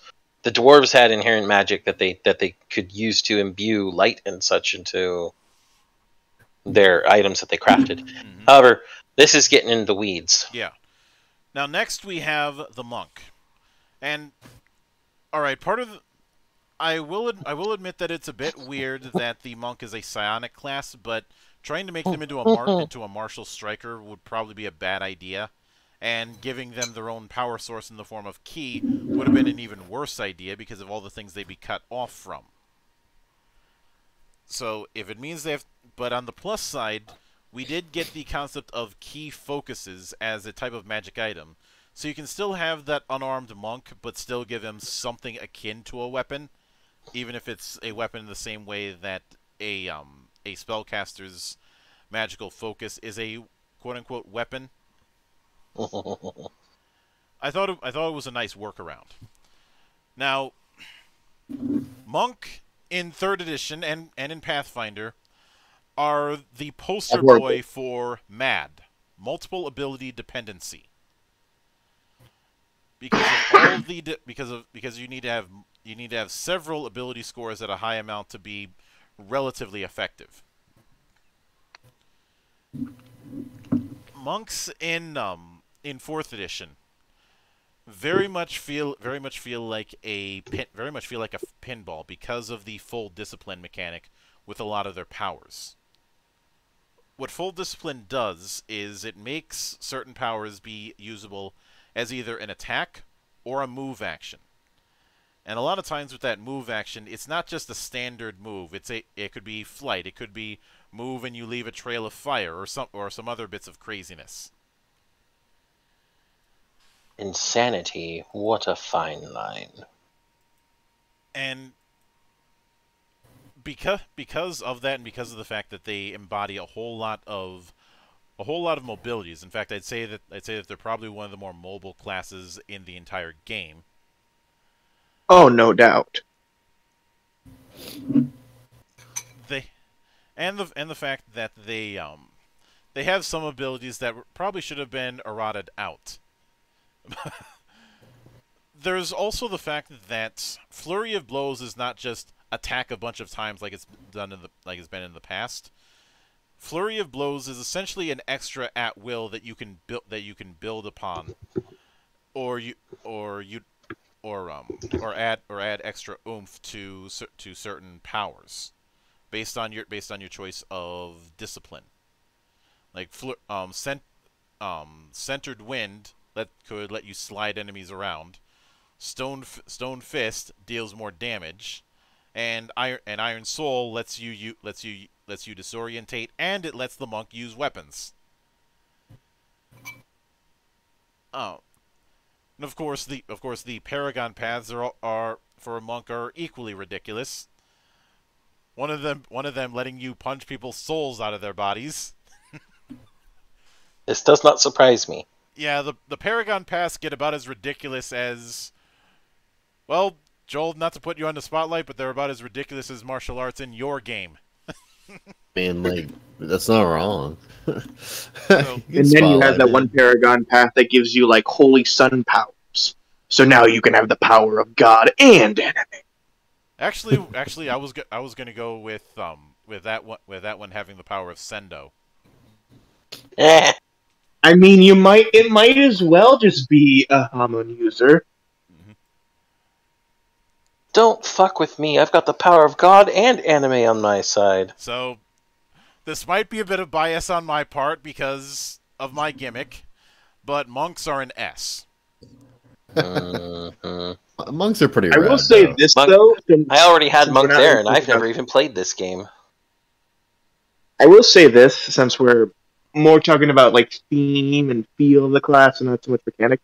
Monk has like, some, like a lot of really weird gimmicks to it. Like it has these feats where it can gain bonuses to its attacks while it's holding weapons, but it isn't using the weapons and it's actually using its ki focuses. It's it's kind of weird. A lot of that I'd say is where there there is an, there is the unfortunate um issue of how how do you how do you manage to let a class that's not known for using weapons keep up with all the weapon users? And like I said, ki focuses was their workaround. So It works okay. next up we have paladins. Now, inc- incidentally, because of the fact that the whole fall or die bullshit isn't a th- isn't a thing in fourth edition, some people um, interpreted it to mean that paladins were immune to falling damage. Okay. Um, Some, some, vault. Deus vult. some people are uh, are big jokesters, Monk. now, they're they're more they're more focused on be on on being on being a divine meat shield rather rather than rather than Deus Vult. Most of the Deus Vult stuff is handled by the Avenger. Yeah, but it's still kind of a funny meme. Oh, and you're e- you're either gonna go full you're either gonna go full strength as the uh, full strength as the tank paladin or or the or the more casty charisma based one. Um. But the, but even but even with but first off, some people didn't like the fact that the that the nine alignment grid was re- was reduced to a re- was reduced to a five point scale. On one end, you had you had um lawful good, good, neut. It goes from one side to the other. It was lawful good, good, neutral, evil, chaotic evil. Um, but person personally, I fi- I find that while the alignment chart is is one of the more enduring internet memes, whenever you try and apply a morality system to the alignment chart, you tend to have problems. Which is which is why you which is why you had paladins as being a a problem class because because they had a rules mandated reason to be a dick all the time. Uh, uh, it worked. I liked the alignments when there were like two of them, when it was like chaos or law, because like then it's just allegiance to like a general principle, or even even better, the side of a fight, which has nothing to do with morality. It's just uh, at that point, it's just realpolitik. Like, yeah, one of the worst mistakes D and D ever made was trying to make their own philosophy and having nine distinct points on it that were all not necessarily opposed is completely nonsensical and lawful tattletale is one of the worst interpretations it has endured Also known as Like, lawful alignment- stupid. Traditional alignment in D and D is like a soup that everybody keeps trying to fix, but they only fuck up worse. it's it, that's a good analogy because it's it's like a soup made out of an inherently bad ingredients you know In that It's in like- that regard, like- I'd say Like I'd say the bok better choy and cilantro. I'd say the better analogy is the Leaning Tower of Pisa. The tower at leans least leading because tower of pisa uh, it, it has at least some inherent value though you can still use the tower more or less what it was intended and it's like a beautiful landmark you know Like, th- this is more like if you just straight up painted something in fresh poop and then to continue to put more poop onto it to keep it fresh. It's oh, like so a you're Jackson Pollock painting. Yeah, it's very Jackson Pollock. that Also, not that art. it actually matters at all, but Fori ta- called it a neutral alignment unaligned, which I kind of find stupid, but you know, semantics. Yeah. Um, Is that any dumber than neutrality being its own alignment? Trauma did that best, you know. Inci- Oh, my incidentally, wife, pe- hello. Incidentally, the Grogs did bitch about. Here's the here's the thing that I find really funny. People people for the longest time bitched about paladins being a problem class. That gets fixed, and then people complain that paladins should be lawful good. Um, Well, don't you know, Mildra? Grogs uh, don't have a logical basis for anything. They just kind of complain at anything vaguely new. Oh yeah. Problem I is know. he's on- he's not wrong. Now, Palad the Smite Evil was was reformatted into Divine Challenge, which I actually think is better. A bet a bet a better name for it, and of course they had Channel Divinity. Um, but inci- incidentally, they're the Paladins get the most healing surges out of any out of any class, and some of their powers allow them to burn um, healing surges chief among them, of course, being lay on hands, where they can where they can spend one of their healing surges to heal an ally as if they spent it. Um, I'd say, I'd I'd say the the fantasy of the paladin is well is more is more or less in there. The only but there but there's not a whole lot of there's not a whole lot of wiggle room for what the paladin can do. And even when it comes to the casty part of paladins, that that part is that part is well established by the by the cleric. So the highest grade that I can give them is an A. They're very good at the they're very good at the one particular niche that they have, but you're not going to have a whole lot of variation in that niche. There's not a lot of ways to realize that very limited band of heroism they're trying to go for. They realize it well, so I'd give them the A. Yeah, like where do you go from paladin?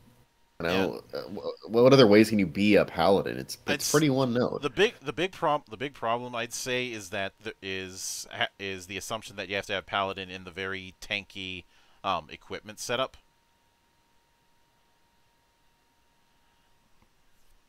Which I'd I'd say I'd, and I'd say kind of kind of limits them. Granted, granted, the less tanky kind of paladin is the Avenger, which we already talked about. Now, next we return to um the, to the to psionic classes with the well Psion. Now, first off, I'd like to point out that the that the argument the argument that fifth edition had for psionics being being a subclass of wizard who just cast spells with their mind was fucking stupid. And I will brook no like most things of 5e. and I will brook no defen no defense for it. We didn't come here to talk about things after all. No, it was it was just a it was just a really dumb it was it was a really dumb idea because there's no precedent for that kind of thing. Uh, yeah, I mean, stupid. didn't um didn't like um AD&D uh, when he have like psionics as if you like rolled really well in character creation, you got some like inherent spellcasting that didn't need components. No, it wasn't. I mean, if if you rolled really high as a char- character gen, you would get a random psychic power, and How about this? It doesn't really matter if it had a precedence in d- uh, editions before. It's fucking stupid. eh, I mean, like, I, I think it's a cool thing to add to a setting in which it is appropriate. You know, like put that shit in Dark Sun. That works really good. But like, as Yeah, like, base, like stories and spells, D and D. Yeah, like doesn't like isn't like Dark Sun like built on part of the uh, premise that psionics are is like more accepted and more used than arcane magic. Yeah, because arcane Like. I, I know, like I remember there's like I I remember there's like um like Dark Sun has this thing where it's like, hey, if you want, uh, give everybody one of these uh cantrips. Now, psionics in um, psi- psionics in fourth were were um a con- they were very much a controller class, and the the um, key the key set the key setup with them was was very much was very centered around um their around their discipline focus either being either being shapers telekinetics or tel- or telepaths. Um they had ritual casting for some reason. But I'd say s- I'd, I'd say when it com- I'd say when it comes to when it com- when it comes to when it comes to psi- when it comes to um psionics the they they definitely have a whole they definitely have quite a degree of of variance to them I'd say I'd say I'd say the whole I'd say the only real problem that I have is that I have a hard time rationalizing the concept of psionic constructs that was that was brought in. What with what with um what with the shaper focus. Like you, Personally, that's always been my favorite kind of Psion. Yeah, I, I can get that, but it- but in term but- but in terms of but when you think of the fantasy of being a psychic, most people are going to go for the telekinesis. Telekinesis, Kyle. That's, That's pro- I, Telekinesis, I, Kyle. I would put the blame for that on the fact that pop culture doesn't really have a definitive uh, sort of cultural image of what the fuck psychic powers are. um to be fair, It's th- such like a, a wide and com- it's such like a like a wide area of what it is. It's so I don't think it's embodied in a single character, but I mean, like, you know it when you see it. Like, whenever someone's doing the the psychic Fowers face and some shit's flying around, they can hear your thoughts. Like, you know what that is. People know what that is. Yeah. I do think I do think that the that when it comes to when it comes to the when it comes to the when it comes to the um powers it certain it certainly fills it certainly fills its role but I'd I'd probably I probably put I probably put Psions as I'm thinking either an A or a B. I put them at a B. Yeah, I could I could see that because the big the big this- problem is um I think I think ins- I think instead of putting some, putting something putting something like the shaper focus of being able to create constructs, they really should have focused on giving on giving more variation to e- to um to ESP and telekinesis, the things that people are going to more associate with with psychic powers. Well, and you could do other Yeah, I mean, like- too. You know, like mind control or pyro, like like the the stuff where you can use fire with your mind. What is that? Pyrokinesis. pyrokinesis. Yeah, like shit like that. That would have been great. And they went with you can have a robot. I don't know, man. I mean, ba- I I mean, all a Shaper Psion really is is like a Green Lantern without the lamp, the ring. That sucks even more. Do you not like Green Lantern? Yeah, they can Uh. they can do a whole lot of pushing around, but um, when it comes to when it comes to being able to control the battlefield, there's uh, there's other options that I think I think outdo them. Um. Now next is the Ranger, i.e., for the most part, the most snake-bitten class in D and D. Ouch. Like The You look- truth. You look at ear- you look at early days and you look at early days and you look at you look at fifth edition. The Ranger has had the problem of be, of being outdone by other classes. It's it's had the third wheel problem. Yeah. Yeah, it can it can u- it can use it can use its fair share of weapons, but the fighter can use them better. It can use its fair and more importantly, if you more importantly, what is it? The big problem is what can a ranger do that isn't outdone by the druid? Well, the druid's like the thing that you always have to compare them to because they're in the same environment. You know, like if you take a fighter in the forest, you know, the ranger has a little bit of an up on them. The same thing with a thief. You know, thief is great at sneaking. In a forest, the ranger is a better fighter and as good at sneaking. With the druid, they've got all that, and they can turn into a fucking bear. Like, there's no contest. Obviously, druid. Yeah. Like the the Ranger has the problem where fundamentally you're basically just a Boy Scout with superpowers. Mm-hmm. Now, that is actually a problem. the four, the fourth edition druid is is one of the classic examples of the striker. They can they can But for Ranger. they can e- they can they can either be really focused on one enemy one enemy or irritate se- or irritate um, several of them. Um, and in a, in a smart move, although although good brother Ash will probably will probably scream to the high heavens otherwise until until his voice gives out. The spellcasting parts for for the ranger were removed, which to be quite honest, I think I think that was I think that was a smart thing because when people think of the ranger archetype, the spellcasting part is probably the last thing on their mind.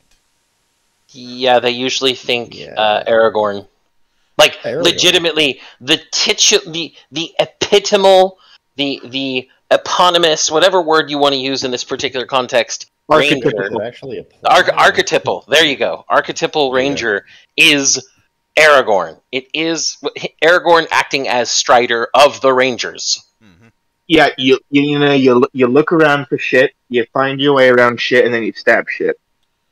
hmm And I didn't, and even with, even with that, they've they were shitty casters in thir- in third edition and in fifth edition. They're also shitty casters. Oh. And the and uh, much like much like the fight much like the fighter, it comes in five flavors. Um, Archer, which gets you defensive mobility as a as a bonus feat, so you can get some extra defense against opportunity attacks. Beast Mastery for those who want their animal companion. Um, which which um do, which is nice, but it does it does have a bit of an issue. Um, Hunter, There's always go ahead. always managed to fuck up animal companion, you know, because every single time that you have a player in a game that wants a pet, they're gonna make a pet out of something fucking cool, not the thing that comes with their class, you know. It's Um, like you can I- either be pre-packaged an animal, or you could find a fucking thing in the wild, you know, like a ranger, and tame it and make it your your friend, and obviously go with the second one, you know. I mean, I mean, who wouldn't want an owl bear as a pet? Like, Um, I have had people tame trolls and dire wolves and fucking dragons. Like we had one. We had so one much guy better who things to had a um, we had one guy who had a displacer beast as a pet. Yeah, and that's so much cooler than a wolf? Oh, It's like, why have a wolf when you can have a blink dog? Yeah, for real. Oh, the the the big the big pro- the big problem the big problem when it comes to first off the the big problem when it comes to the when it comes to the pet is when it comes to the pet use is that it's it's going to be very reliant on you being on you being a archery focus. So beast mastery is it's it's one that it's one that's not it's one that's nice, but it didn't get picked all that much because most pe- most people would rather would rather not deal with the hassle of even a micro version of a character sheet. Um, Mhm. Hunter is for is for those is a switch hitter, and it's basically for those who want to who can't figure out if they want to shoot or they want to stab. So it so they get quick draw for free, so they can do both. It Yeah, becomes and shooty they stabby. Suck at two things. Yeah. well, the the common the common build with hunters is sword in one hand and hand crossbow in the other. Huh? Wait, are we talking about a um an AEDU ranger subtype, or are we talking about the essential hunter? Um, we're talk we're talking about the, the hunt. We're talking about the AEDU one, the core one. Okay, good, because I have a lot of things to say about the essentials hunter. We know. We'll get to that. Um, Marauder is for those who want to do the two, want to do um, the two weapon stuff. With what is one is the speedy two weapon version.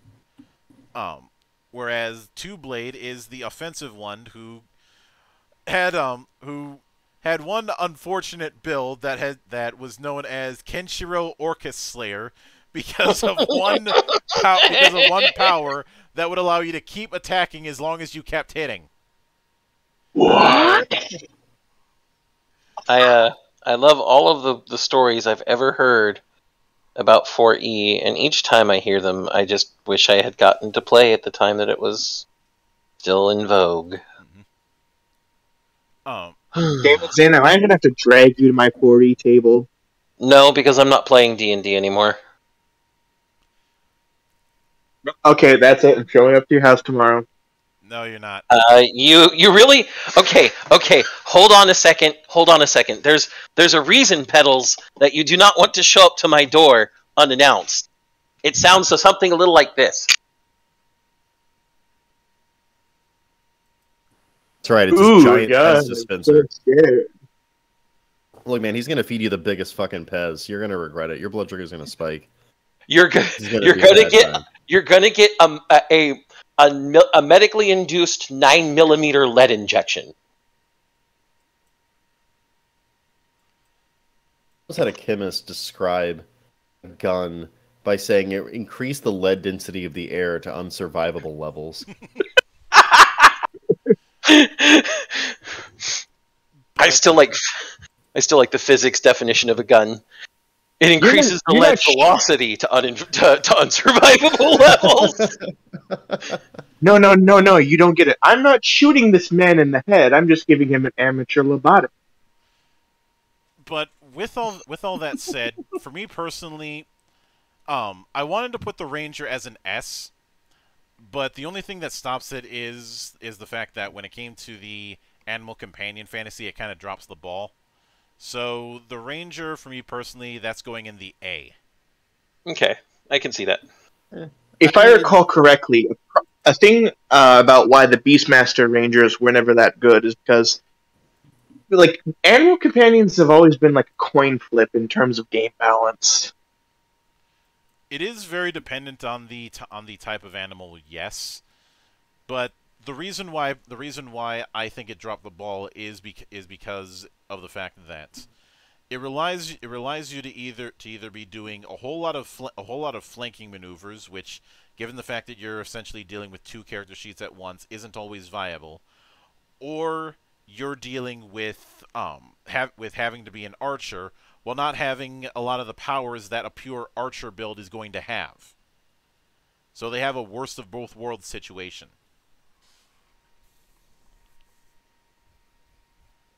To catch twenty two, an unfortunate an unfortunate event. Ironically, um, when we get to one of the essentials uh, druids, we'll actually be getting a much better look at a uh, viable companion uh, class. Yeah.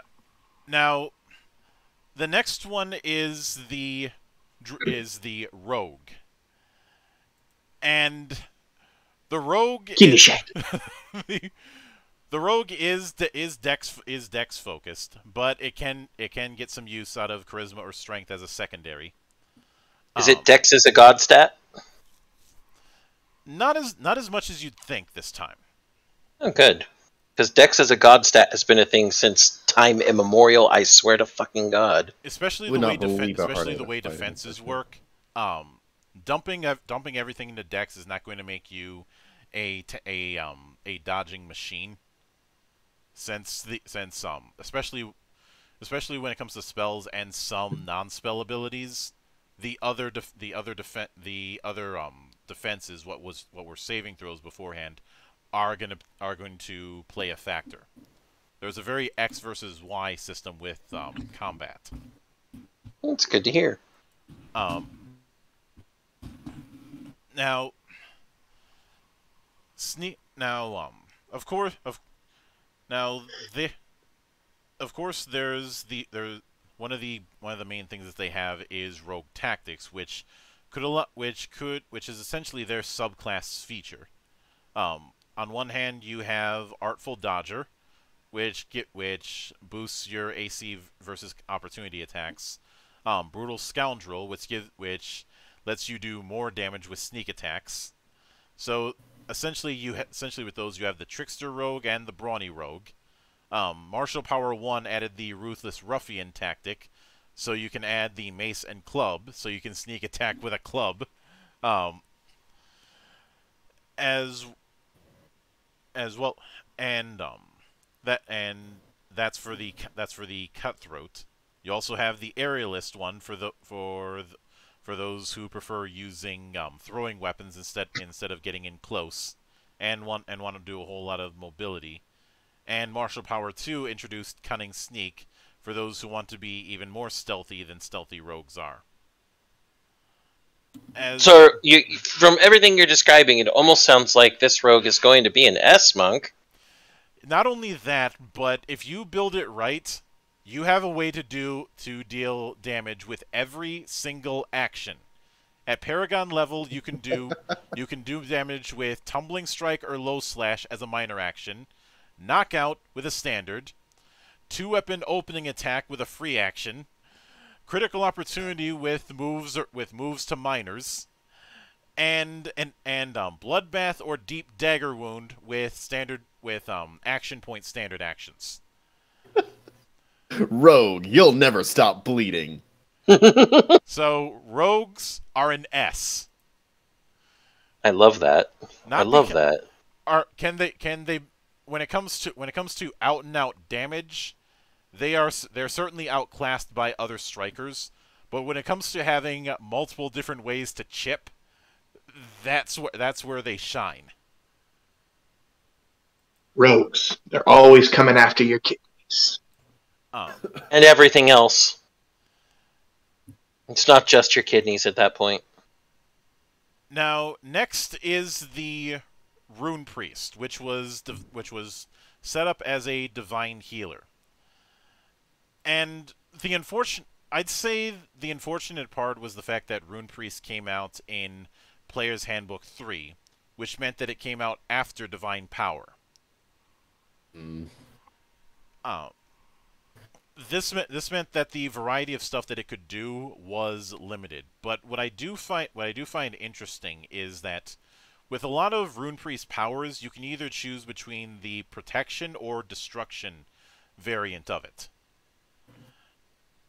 Essen- essentially, essentially, they're a they're a, they're a kind of divine leader that has a bit of stance dancing going about. Stance dancing. Um, That's what we call it. their their big point of divergence is is their is their choice in runic artistry. You have divine word, which uh, which um allows you to add wisdom to your attacks if they miss you. But uh, but um the problem is you'll mostly be using simple weapons, so it's a bit so unless you do the right build, it's a bit of a trap. Serene Blade gives you get, allows you to use military heavy blades while also having your wisdom determine AC and you and every time you hit, you gain temporary hit points, scaling fr- scaling from Wiz to Wiz plus five, and then Wiz plus ten, depending on your tier. And Wrathful Hammer gives proficiency with mauls and military hammers, and you gain and you get a um, con bonus to damage against an enemies that that hit you. Um, it's ve- it's very much a, it's more of a switch hitter than the than than say the cleric but because because of the fact that there is some degree of traps and the fact that it's not exactly going to be user it's not going going to be user friendly there is the concept of rune use but not in the same regard. So i would personally put um, the rune priest at a b.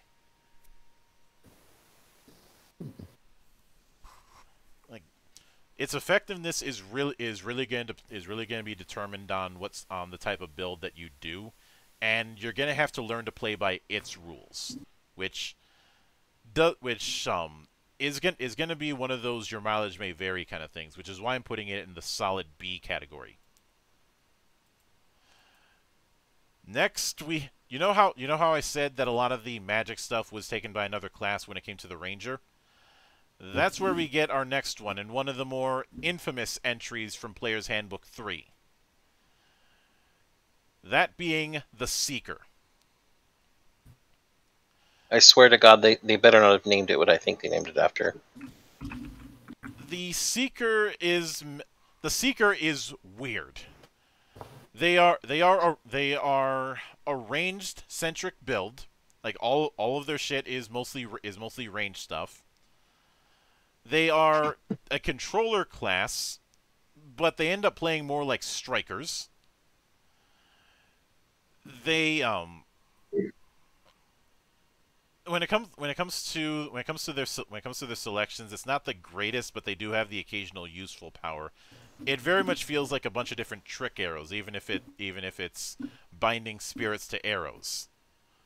But for all intents and fucking rad, purposes, people um, the analog that people use is Green Arrow or Hawkeye. Yeah. Sounds like a good analog, but honestly, like that's kind of rad. I don't think ever, ever anybody play a seeker in my games.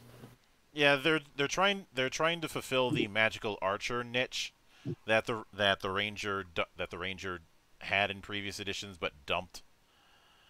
Um, But I- I- Scout, um, Scout as a class kind of filled that up. I remember uh, whenever that got introduced, it was like the better version of Ranger. Yeah. Once once again, the pro- the problem with the problem with the Ranger is that it came out in not the Ranger. The problem with the Seeker is that it came out at the wrong time. Being being in Player's Handbook three kind of kind of made it kind of made it miss out on anything from Primal Power that it could have taken advantage of. So because yeah, it, a uh, Seeker is the same. Oh, sorry.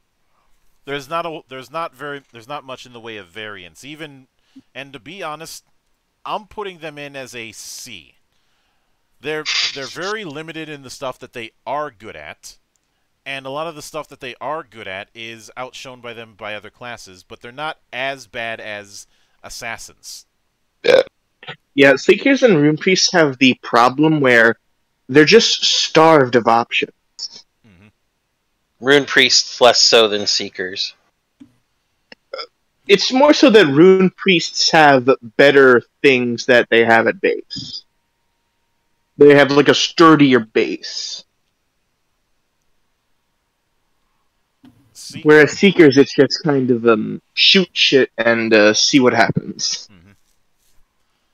oh So you're saying that they are Kyle Rittenhouse. that's People fuck around and find out. that's as far as i'm going with that joke So you're gonna execute that joke because it threatened you? I see how that goes. fuck off Uh, he's only cutting it off because he's black. Oh God! I Time to hate- walk away from this joke. Take the better part of valor here. Not gonna stand our ground with this one, people.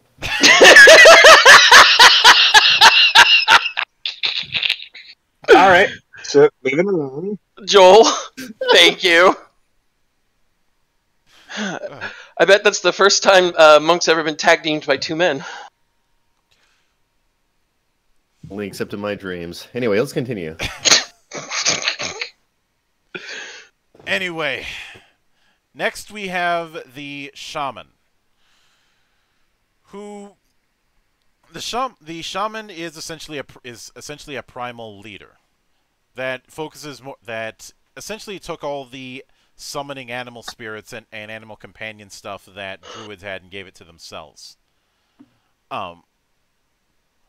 Now the summoned animal is really fucking tough and the and um the their particular he, their particular healing mechanic kind of breaks kind of gets around the whole use a healing surge to heal thing.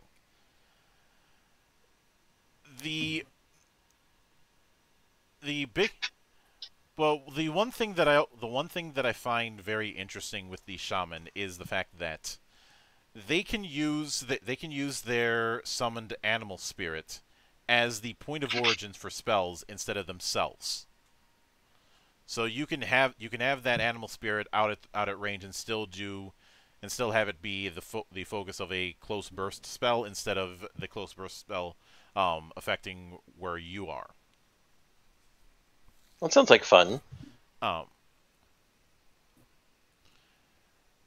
the the big the I'd say I'd say the I'd say the big problem is that in fluff they have the whole they don't need to seek adventure they but they end up getting pulled into trouble which there's on, which kind of bottlenecks the kind of stories you can tell Yeah, I think there's always the problem where if you have a class where part of its roleplay gimmick is that it doesn't do it, that's kind of a bad thing. Yeah. For me, I would I would say that I would say shamans are very much a B. They would have been they would have been an A, but it's one of those classes that demands that demands a certain level of understanding of how it works. Not ne- not necessarily foreknowledge or something like that, but more of the fact that it's got it's got a specific kit it's got a specific kit, a specific playstyle in mind, and it's something that you have to adapt to. It's a little too limited. It's not as versatile as some of the more uh, impressive ones. Yeah. Next one. It's also is- pretty funny if um. Oh, sorry. No, go ahead. I was gonna. It's kind of it can be kind of funny in roleplay when you have like a pet from your theme or whatever. It's like a bear, and then you have your spirit animal be a bear, and you can be like, "Oh yeah, that's this bear's father." That always has some fun bits to it. Now, next is the sorcerer, and um, apparently, apparently the reason sorcerers were not in the first player's handbook was they wanted to come up with a way to make to make it um to make it more distinct, especially since they couldn't fall back on the whole "oh you don't have to prep your spells" thing that th- thing that they've used in the past. Now, Oh man, the sorcerer the sorcerer is is meant is meant to be a more in, a more innate caster. And they are basically evokers. That the th- they li- they like doing elemental damage involving all of the elements sometimes multiple types at the same time. And The- Those sluts. and because of that, they they tend they tend to be considered the halfway point between wizards and warlocks. Um, but they but they also decide to distinguish even further where the magic comes from instead of the instead of that vague oh you may have learned you may have learned it from dragons or something like that. Um, instead we you have four different type four different types of sorcerers that were in, that were put in. Um, wild magic, where they can randomly gain either either a boost to AC, a, a free saving throw, maybe gain energy resistance, that and the energy type would change randomly. Could slide could could slide targets around on nat twenties. Um, they it base I wouldn't exactly call it viable, but it certainly fits the fantasy of a wild mage. Um, dragon mages are ener- are energy resistances and and be, and um because of the fact that they're that the core stat for their AC is a little bit is a little bit varied and they get more AC when they're when they're bloodied they certainly have a a, a good amount of variety. Storm mages are resistant to thunder and lightning damage and they and they get to pu- they get to push their target or even or even fly in some cases Unfortunately, they never fucking stop playing that ACDC song, so they are pretty insufferable. Ah, nah, nah, nah. Yeah, we get it. We get your shtick, man. Mhm. Continue. um, cosmic cosmic sorcerers again ha- again have a degree of a degree of variety and um, can choose the planes that they're aligned with during a during a rest, which grants them a special bonus. Um, if you're aligned with the sun, you get cold resistance and you inflict fire and radiant damage on nearby enemies. Moon grants psychic resistance and gives and gives you um a AC bonus based on how many enemies are adjacent to you. Stars grants radiant resistance and you can teleport as a free reaction anytime someone misses. And you can you can choose to you can choose to go to the next phase. Um every anytime you ca- anytime you cast a daily. Although although when you get bloodied you're forced to switch. So I'd say I'd say the fact that it focuses on the whole raw power thing, the for lack of a better term, phenomenal cosmic power, the in terms of in terms of fitting the fantasy of of the- of the casty sorcerer, who is who doesn't cast as Thirteenth Age says doesn't cast spells as much as they uncork it. I think I think the sorcerer is an S. An S because it is phenomenal cosmic power instead of semi-phenomenal nearly cosmic power. hmm Ooh, A plus Aladdin from uh, 1992 reference. I love that movie. I, I, I love the cartoon series it was based on that popularized that phrase. Uh, The now- sorcerer just blows you up. Yeah, you go boom. Honestly, like it was a very played class in my games. Like it, it does what it says on the tin. It does it well. Like you get to be cool. That's that's all I want from a class. That's all I, most of my players wanted for a class. I um There- I used sorcerers a lot, and I used I used a tactic that I would al- that I'd like to call um dirty lightning. You know, throwing around fire and electricity a lot. That's not really dirty lightning. That's just kind of lightning by science. Dirty lightning. Whenever about I, to s- played I a was- sorcerer, I would just, I, I just did nothing but spam Blazing Starfall, and that's all I did, all day, every day. Blazing Starfall sounds Now- like the name of a hair glam band. Hair metal glam band. Now next News is Blazing Starfall, door to your heart, only on KWA, the heart. How opening for the darkness, blazing starfall. now next is sword mages, which was exclusive to the Forgotten Realms players players handbook. Um, and and were are instead eh, were arcane defenders. Then the the funny thing is is that is that the fluff implies that Eladrins invented invented um the sword mage fighting style, but Eladrins are actually the are actually one of the worst classes to pick for be, for being a sword mage. Innovating something. Mostly because it just kind good of at doubles down on everything a sword mage does. I think that's a good point there, Joel. Just because you invented it doesn't mean you're good at it. Mm-hmm.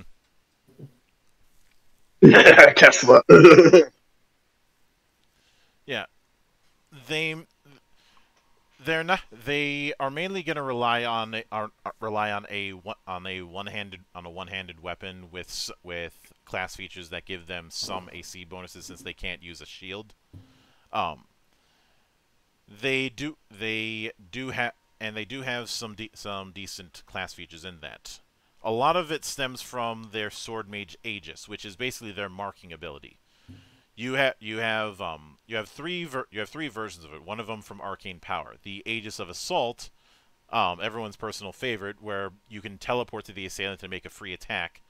The Aegis of Nothing Shielding re- reduces the reduces the damage that the ally takes, and Ensnarement instead teleports the attacker to to you and makes them vulnerable to when you next attack them. I, I, I I'm I'm sorry. Did he just make this the Cold Steel the Hedgehog reference that I made when we were looking at that one rogue archetype during Heavens and Heresies? Yes, he did. I did. It's it's better with Heavens and Heresies because it's actually the name of the fucking feature. Oh, Nothing God. personal, kid. Tanner is a shitlord and I love him. But that's Oh, beside the point. Christ. Yeah. Better put nothing personal, kids, somewhere in the Edge Lord chapter of my game. Now, the Better sword be in bond- there. Or, mark my fucking words. Yeah. The sword bond feature is is lar- is largely fluff or a way to or a way to really piss off your DM, since they since it they essentially bond with a sword. They can rebroke they can rebuild the sword if it's if it's broken, or they can summon it to their hand if it's within a certain distance, and that distance is pretty damn far. There's not a whole lot of powers that take advantage of this, but it could, but it could be it it probably could it's probably could be used for some fluff moments, or or you could do or you could um you could do so, you could do something that is probably going to get your GM pissed off. Sell off the sword, then use sword bond to call it back. To me, my blade. I um no refunds. Just run. all, all I all I hear is is uh this is a shard blade. T- tell me you know about shard blades without telling me you know about shard blades. That's what this feels like to me. I don't think I don't think you could um I don't I don't think you, there is a casting time of 10 heartbeats. I mean, Fun ten fact: hard. the ten- story, uh, character I ever played was a uh, hybrid uh, warlock sword mage.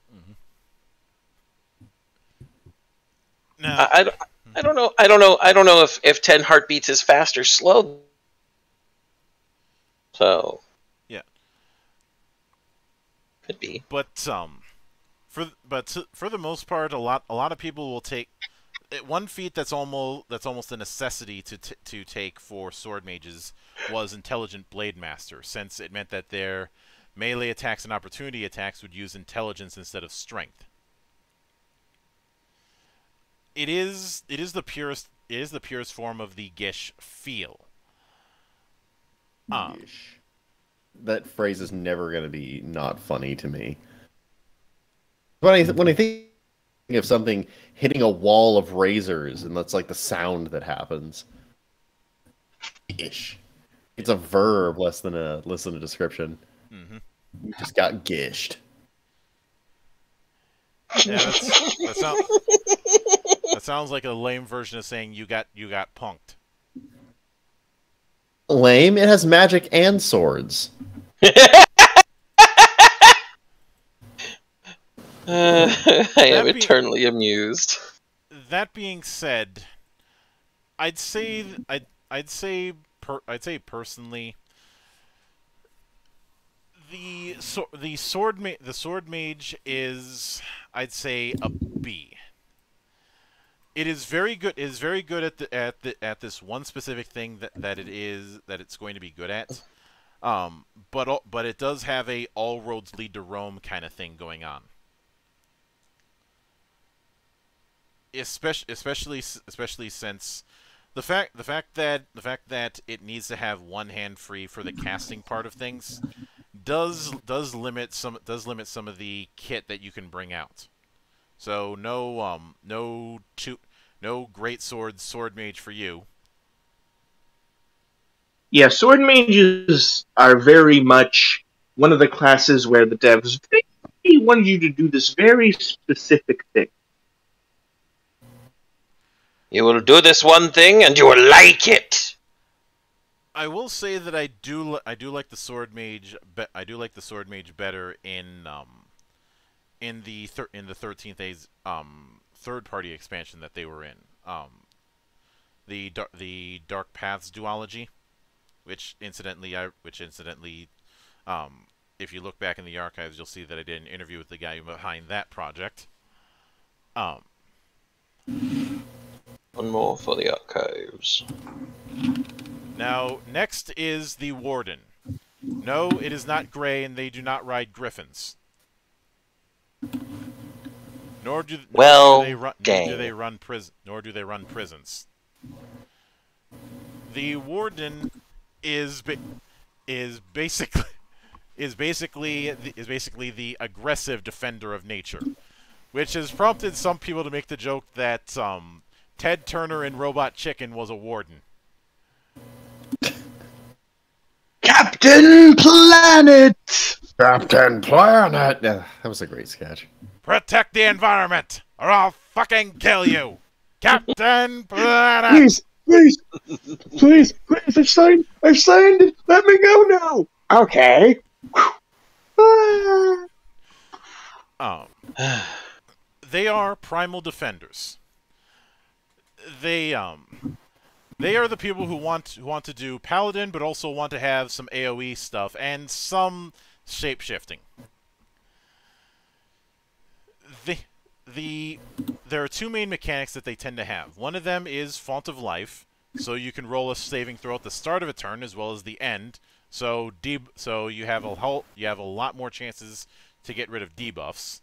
Um, Nature's Wrath, which is its marking which is its marking power, which has two default um, abilities. Warden's Fury, which is a at-will interrupt that attacks a a marked enemy nearby who targets anyone but you, and makes them grant combat advantage to all allies if you actually hit them.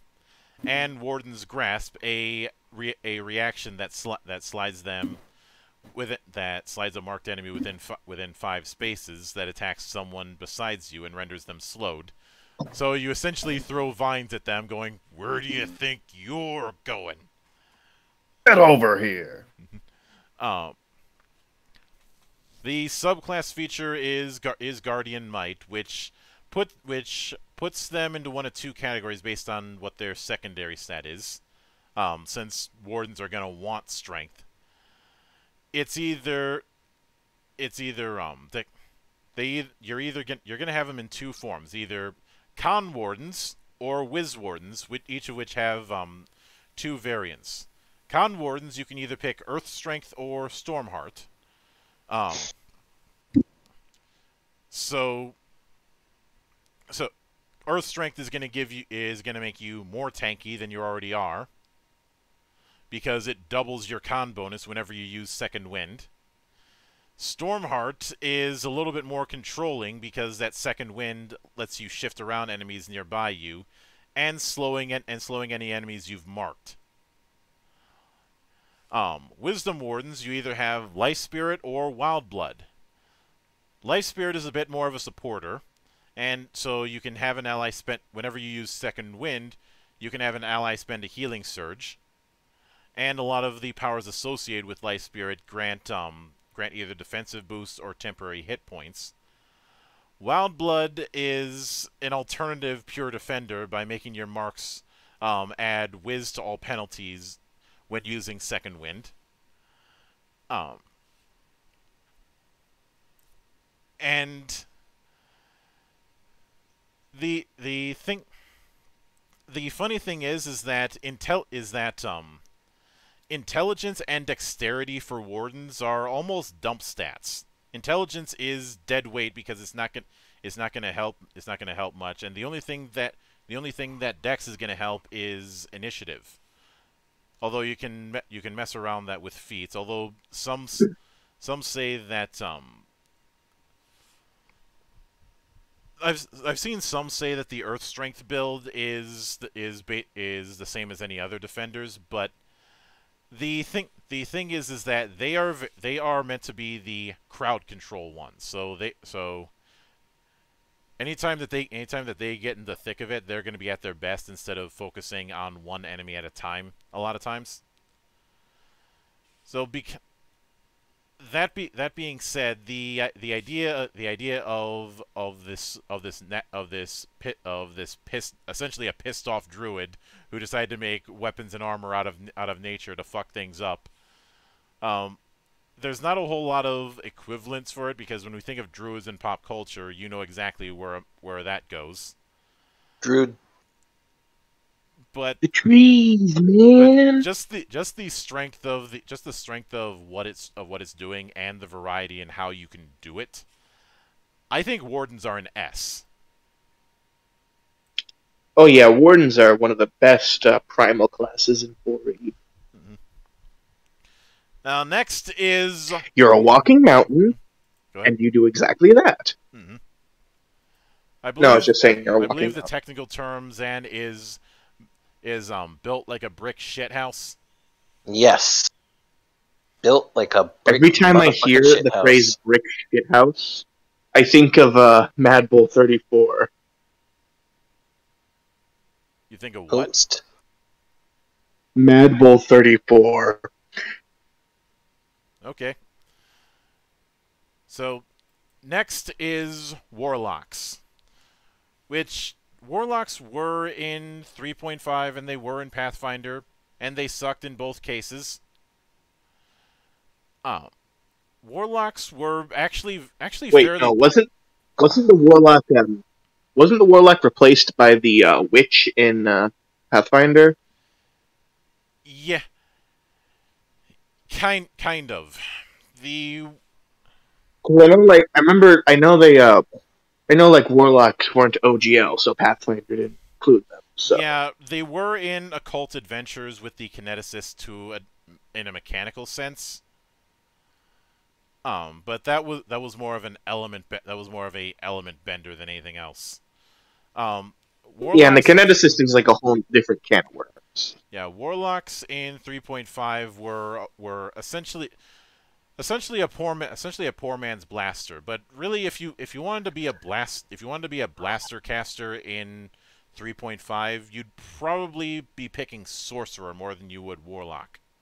Or wizard, just because of the amount of fucking spells you could get. Mm-hmm. Um.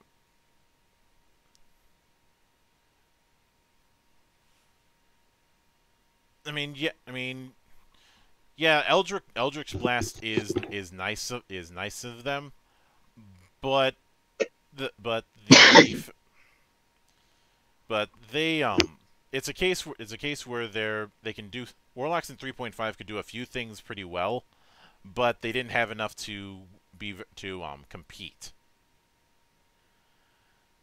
Especially since their damage is static and there's not a whole lot of options to improve it. Mhm. Now, warlocks in um in fourth edition were actually fairly popular. I'd say I'd say I'd say they were more popular than warlocks are in fifth edition. Which is saying something considering warlocks are like one of the most used caster classes in fifth. Most mostly because they mostly because they're a caster class that actually has actually has something that doesn't rely on you using that concentration bullshit. Well, that and the fact that you can basically turn them into frontline tanks using a few invocations and taking the uh, Pact of the Fiend. hmm Also, you know, Warlocks in 5th edition have something that is quite rare in 5th edition a customization. Now, the f- I think I'd s- I'd say th- the mo- the mo- there were two um there were two race class combinations that were very popular in fourth edition. One of them was the Dragonborn Paladin, the other was the Tiefling Warlock. And I've talked about this in the past, and I might I might bring this up again if we ever do this for races. But Tieflings in fourth edition, I can I consider it to be the best interpretation of them because it isn't edge lord shit. For in a lot of times, Tieflings are just you're half demon, which is okay and all, but it's not all that interesting either. In fourth edition, the mo- the motif was you were you were not one of your parents wasn't a demon, but rather one of your ancestors made a pact with a demon, and and that and your bloodline is cursed ever since. With and with with a lot of the art that was given for tieflings, there's a very almost gypsy vibe to how they present themselves.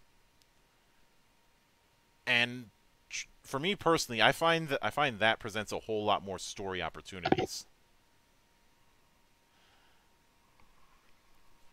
I mean, yeah, you could you could feasibly make um, that that particular thing in in editions past and future, but at that but at that point there there isn't really you're you're putting in that foundation yourself. It's not something that's built around that that's being built around. hmm Now,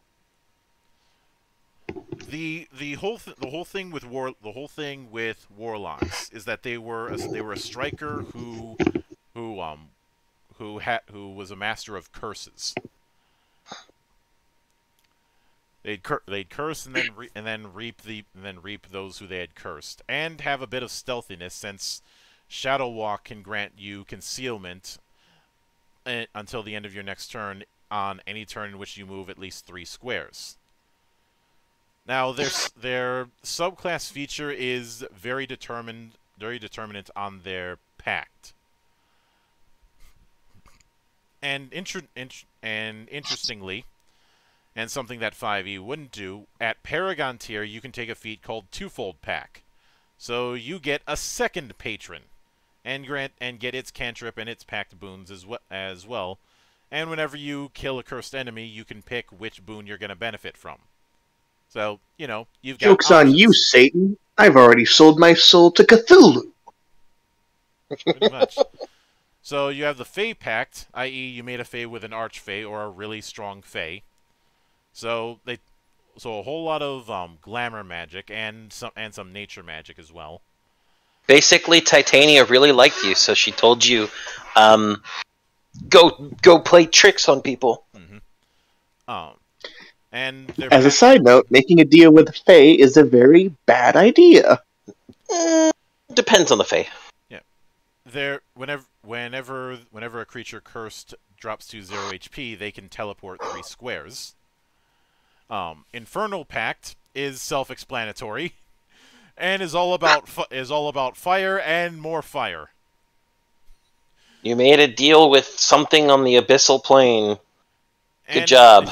Its pact boon grants you temporary HP. The Star Pact is where things get weird and where you have arguably fourth edition's answer to the to the um to the mad problem. Obviously, the Star Pact is your is um Cthulhu, or rather the Cthulhu mythos. Certain stars are giant aberrations which can which can bestow powers. Um, Upon thee the power to destroy your enemies. but the the way now grant now grant granted some of the some of them are some of them are more ast- are more astrology and some of them are are going full are going full on the are full on horror things Uh, full on the color from space. Yeah, but their their partic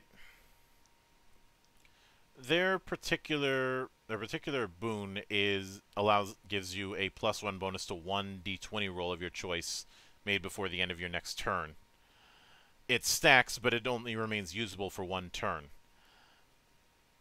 And a lot of to and the problem the problem is a lot of the a lot of the power a lot of the powers that are tied to Star Pact are ver- are uh, not are not as are not as universal when it comes to what stat that they that they utilize.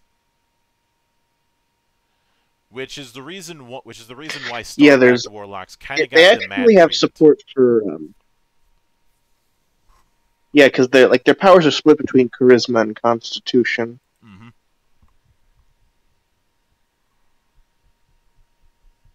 And now, in now, And while you know warlocks and Fury could have take powers that were from other pacts, they didn't get the riders, Mhm. Which is where a lot of like Fury stuff comes from. Yeah. Now, Forgotten Realms introduced the Dark Pact, i.e., i.e., the spirits native to the Underdark. So a whole lot of a whole lot of poison, madness, all all the stuff that Lolth loves. Um, some of them some of them can give you upgrades if you do damage to your allies, which is a very drow thing. And but even with that, they're they're on the beefy end of things. The I'd say I the and they a Dark Pact Warlock leans a little bit into a Defender because of how um, Dark Spi- Dark Spiral Aura works. Its value gets one point every time a cursed creature is killed, and you can use that as an interrupt when an enemy makes a melee or ranged attack against you, inflicting a inflicting um, psychic psychic and necrotic damage per per point in that in that aura. And if that damage is less than 12, your aura drops to 0. If you do more than 12, you can have the damage and your aura just drops to 1. And of course it resets when you take a short rest. So it is kind of defender-y. Um Dark Sun introduced the Sorcerer King's Pact to tr- to try and to try and bring back AD&D's Templar. Um the which was which was which was a weird mix of kind of warlock and kind of psychic. It had it had a resource known, known as Fellmight that could be spent when casting certain spells in order to trigger upgraded effects. Um, it was a bit it was a bit controversial, to say the least. Even th- even though it's gonna recharge like crazy because you're supposed to be cursing if you're playing a warlock. Although having an alliance with the Sorcerer King, the villains of Dark Sun, is gonna leave a sour taste in people's mouths. But then again, those are probably the same people who are crea- who are saying, "I want to play a blackguard." A blackguard. Goddamn Um, blackguard. And weirdly enough, Sorcerer King Warlocks are kind of interesting from an optimization perspective because they have this feat. It's fucking ridiculous. You just get to add a 1d8 to all your mas- basic uh, melee attacks forever. Mhm. It's fucking stupid. although you you stack that with cur- you stack that with curses and you make people's lives interesting. But weirdly enough, in what was mostly an essentials book, in Heroes of the Elemental Chaos, they added in the Elemental Pact for core warlocks, which is, is basically you is basically you making a pact with something from the Elemental Chaos. Um, it's a little bit it's a little bit wild mage.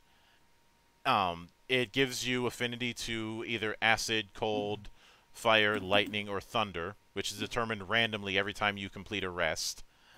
And you can change. You can ch- much like much like the elemental sorcerers, you can change that when using second wind. When you you when um you can you can also use this to force certain powers to to deal the to deal the damage type of your affinity. So if you if you use a power that would normally do acid damage, you can and you have lightning affinity. Well, now it's doing lightning damage. Um, its its boon had it that every whenever you drop a cursed victim, everyone you you place your everyone you place your curse on grants is get gets um vulnerability to whatever damage type you have affinity with. So it's certainly in, it's certainly interesting. Um, there Yeah, you can just completely destroy certain creatures and monsters in the game just by stacking vulnerabilities. Oh. And I just realized I forgot about the Vestige Pact, which was a reincarnation Yeah, of the th- third edition Binder. I I like Although sadly of, we'll see the massacred binder later on. I I liked the concept of of ves- of um, vestiges, large, largely because there was a whole lot of n- a whole lot of narrative co- conceptualization of drawing upon mm-hmm. the powers of dead gods. And it it also it also made them a bit of a stance dancer. So I think because of the sheer variety, even even with the issues that Star Pact warlocks have, I think warlocks are an S. Yeah, I think so. I think Yeah. fourth was probably the best edition for Warlocks. Just because simply because of all this all the you have you have the mot- you have the motif of the of the pact and you have that particular fantasy well as best as they can do because a lot that whole pact fantasy is is far is far of much of a narrative thing. And D&D D&D has never had narrative mechanics which is why which is why which is why I find it funny when people say that there that there are better narrative elements in certain editions no, there no there weren't. Those are things that you put on it. I think that's the reason why the I've never put too much stock in the whole rulings not rules um philosophy. But next we have the warlord and I'm go Yay! I am go I'm going to skip right past the bullshit. Warlords are an S. Yeah, I think the Warlords fa- fucking rule. I think the fact that since date since fifth edition came out, people have been demanding for the longest time to have a war, get to, a have an ex, warlord. to have an equivalent. And no, battle minds are not warlords. No, fighters from heavens and heresies are warlords. oh, I'm sorry. Am I shilling Tanner's work too much? Well, some someone's got us, so it may as well be us. I mean, is there such a thing as too much? Just like too much DACA, I don't think you can chill heavens and heresies enough. But the war the warlord, this concept of a martial leader, was to some very to some very scub, although their reasons were were um stupid. The whole idea with the warlord is essentially the is essentially the frontline battlefield commander. The the kind of the kind of person who is the, who is the gen- who is the tactical genius who fights on the front lines with his men. He is not a man who will scream at the top of his lungs, I am the Clit Commander! Oh, The, the joke needed to be made. Yeah, but um, some someone had said once, a barbarian hits you with his axe, a warlord hits you with his barbarian. Barbarian, kill that man! Yes, sir. I love it.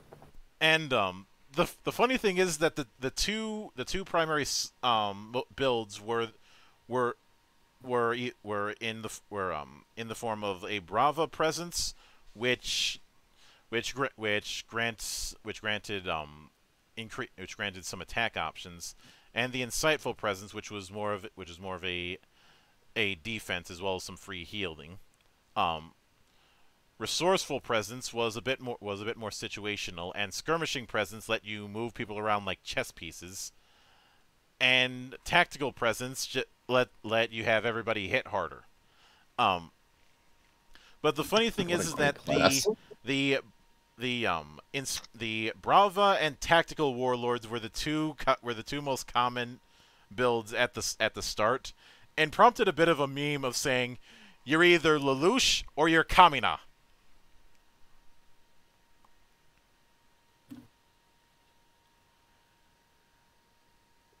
Which um, it's We were Is- just pausing for the applause, people.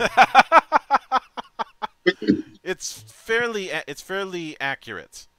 I Um, would say that th- that one of those leaders is more effective than the other, but then I would get a lot of hatred from one or the other side of mecha. I'll let you decide which leader I'm advocating for, but both of you fucking sides can hate me all you want. You're nah, you're you're a shitlord. You're definitely talking about Lelouch. He didn't say that. You did. That's your assumption. I uh I love the fuck out of Gurren Lagann, and I love the fuck out of uh fucking Code Geass. So Although the only time I've ever played a warlord, I flavored it as Teddy Roosevelt. Fucking Hmm. Christ, that Good works. choice. Yeah, good choice. Um, Oh, what's this? I've been shot. Uh, I well, I can still finish my speech. and make fun of you for being a pissant not killing me with your shot while making my speech. That's what Teddy Roosevelt did. God, I love that man. um, well, a lot of a lot of the a lot of the charismatic warlords that or or charismatic generals that you see in the that you see in the Warriors series, um, Cao Cao especially would fit the warlord archetype, or even even just even just charismatic fighters who who will who will who will rally whole troops like say like say William Wallace are still are still are still going to count under the warlord archetype. Or um, ooh, yeah, this one's a good one. Uh, if we're still talking Musou games, mm, Hyrule Warriors Ganondorf is absolutely a warlord type. One that hits like a truck, but yes. No one said a warlord can't be powerful. In fact, leading by example is the best way to lead. Mm -hmm. I would follow you to the end of Hyrule, Ganondorf. Um, And follow me to the depths of hell. All right, no problem. Yeah.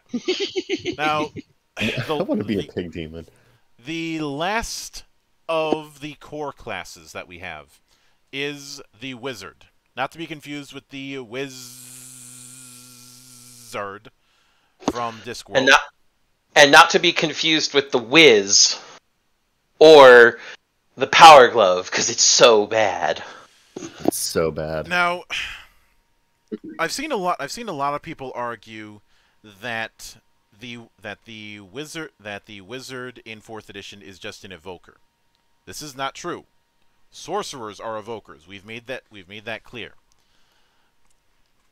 But the the main th- the main thing the main thing that differentiated a wizard is that they got more they got more utilities and daily powers than than anybody else, but they had to store them in their spell book. Although you could you could switch those you could switch out those memorized spells. Um, but a, a lot of a lot of their a lot of their um a lot of their a lot of their subtypes are determinant on the on the implement that they, that they utilize. Essentially, much in the same way that a fighter is supposed to is supposed to be specialized in a certain type of weapon, a wizard was supposed to be specialized in certain implements. That be that being so you have things like the orb of imposition, the staff of defense, the wand of accuracy, and so and so on. Even tomes were considered a um a implement. Now, for me, Is that fire? Is that Fire Emblem mages I hear in the background? for me personally, I remember I remember when we were when we were discussing the rebuilding, um, reconstructing D um, D and D classes. The big problem that the wizard has had is kind of is kind of a spin on the problem that the fighter has in the fact that aside from the, aside from them doing this bro- doing this broad thing, they don't have they don't have a whole lot to fall back on. Like the reason why the wizards are the worst cla- are the worst casting class in fifth edition is that the, is is that they all they get is more casting, and a lot of that more casting involves concentration rules, which, as we've established, are bullshit. I like Concentration. concentration rules. So.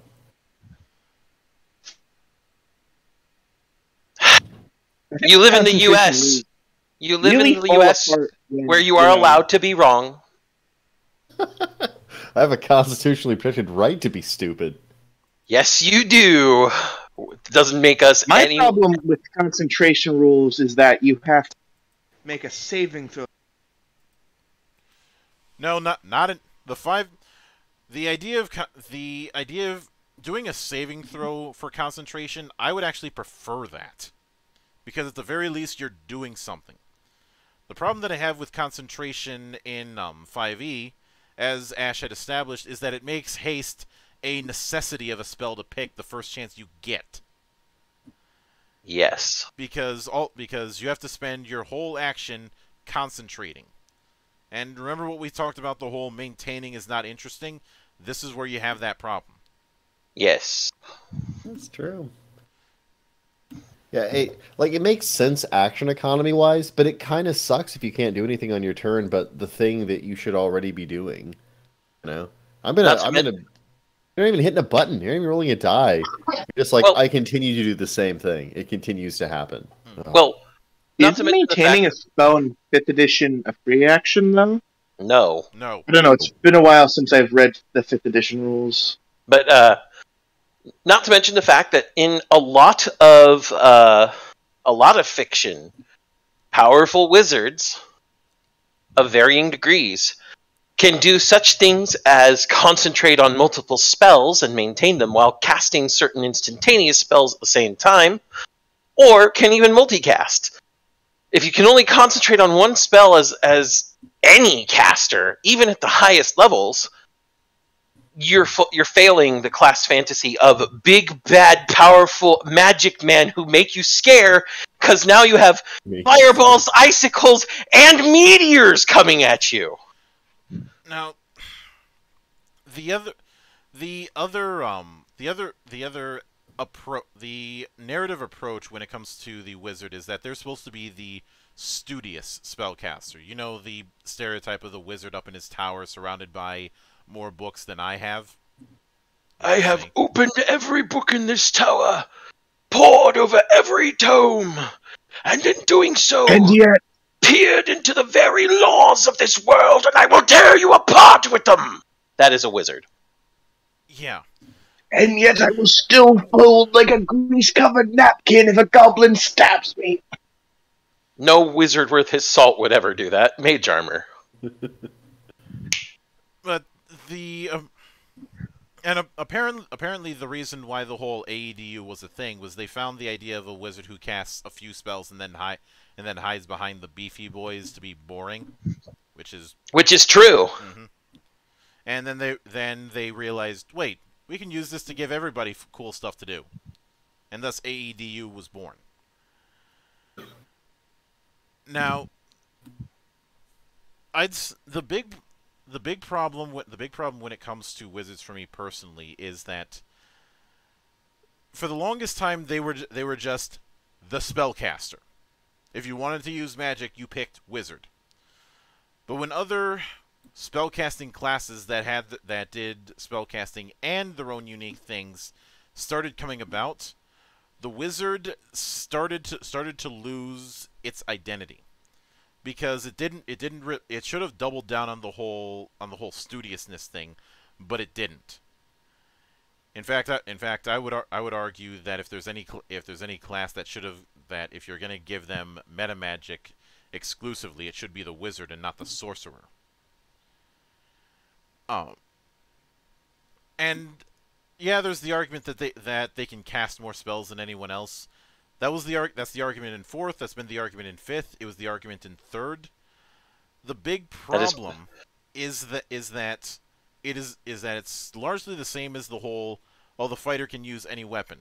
Yeah, you get more, but it's still more of the same. It's still more of the same. You're not really, you're not really doing anything to establish that identity. Um, It's the whole second verse, same as the first, but you know, not fun. Now, because because of that, honestly, I would put Wizards at a B. They are still they're, they're still very they're still very they're still be they're still able to do a lot of really good things, but it but it is going to be dependent on your choice of build, and the studious eh, their class features don't really um don't really fit that whole studiousness that we're that we've talked about. Even the even the implement mastery thing is something you think would be better served by an artificer. Yes. the the big pro- the big problem is that wi- is that wizards need the wizards need a identity. And I I I um I'm actually tempted to bring up 13th age in this regard because of because of the fact that you have you have some you you have a bit you have some spells that wiz that wizards have that have the chain effect, i.e. you can hit another eligible target as long as you keep hitting and some of them that and some of their encounter spells that are called cyclic, i.e., when the escalation die is on an even, and you ca- and you cast an you cast a cyclic encounter power, it doesn't exhaust. So with tho- with those two, you have cool. you have you have the you have the implication that the wizard is going to be casting a variety of spells in order to spell cast more efficiently. But yeah, Monk, I think you were really uh, hitting it on the head earlier. Wizard's identity basically just boils down to I'm a wizard, wizard, a wizard, wizard, a wizard man. Electricity with my finger. Nails. And that's it. like if they if they had some stuff that um that further went that further went into the stu the studiousness then maybe I then maybe I could go with that even even Warhammer wizards kind of have that without with the with all the different spells that they have with the hyper focus on one on one path. Yeah, but Warhammer wizards uh, explode if they cast their magic wrong. well there, there there certainly is that. But that co- that covers all of the all of the core ones. Now we get to now we get to the essentials one. And i want to say i want to say this straight out essentials was the canary in the coal mine not just for the eventual end of fourth edition but also a lot of a lot of the design problems i would see in fifth edition this is where you this is where you started to see the the lack of variety. This is where you started to see the attempt to try and appease um, fans of fans of older editions, especially um, especially pre 3E editions. And oh, and this is and a lot of the, a lot of the essentials classes fit in fit into this whole thing of, of not having a whole lot of not having a whole lot of variety and compare and compared to their counterparts not being as good. We start this off with the with the um berserker.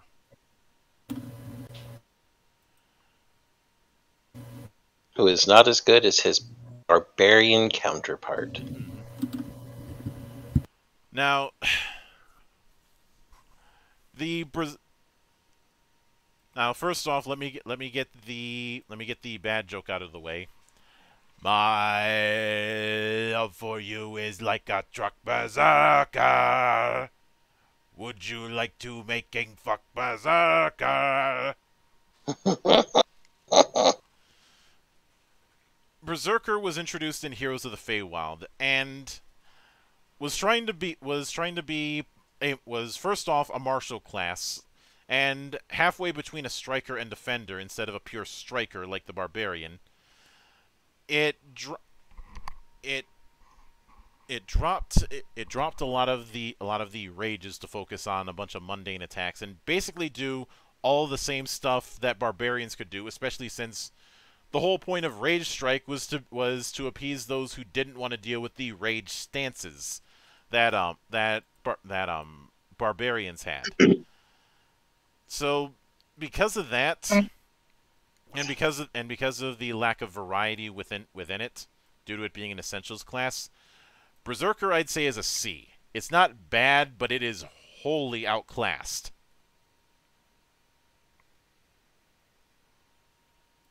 It's just so pointless. Berserker. Yeah, you're you're gonna hear you're gonna hear the you're gonna hear it be, you're gonna hear pointless quite a quite a bit. You know, things that don't have a point Mhm. tend to be pointless. I mean, okay, you okay you get a you start out with getting a Heartland feature. Every where- minute, every sixty seconds in Africa, a minute passes.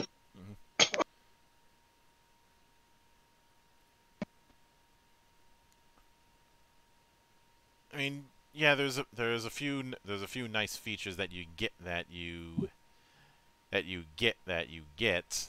Although, but a lo- but it's not it's not all of that it, it's not all of that interesting. Interesting. And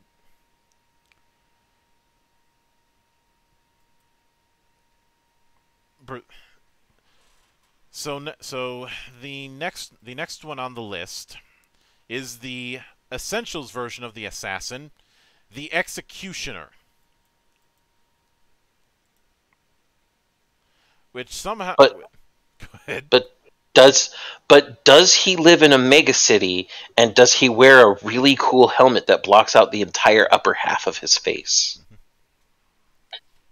Um, it en- the executioner kept executioner's strike, but also but also gained access to poisons, some equivalent to ba- to daily powers, um, and the and the ability to insta kill things that put you below a certain threshold. But the but um this but to be quite honest, the the execution while the, while the other essentials classes have some degree of choice, the executioner had e- had even less than that low bar. So much like its big brother the assassin, the executioner is a D.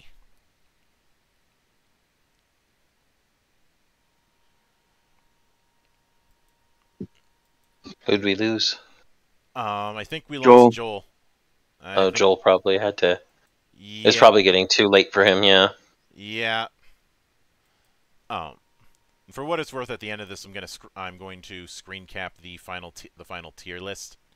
hmm Um, but next up, next up on the list we have the Skald, basically the essentials version of a bard. hmm And Ah, yes, the bard. this is basically for this is basically for those who, who thought that their bar, who thought that their bards were were too fightery and needed to be more castery. to be to be quite honest, I think that I think that's missing the point since the bard is supposed to be a jack of many trades.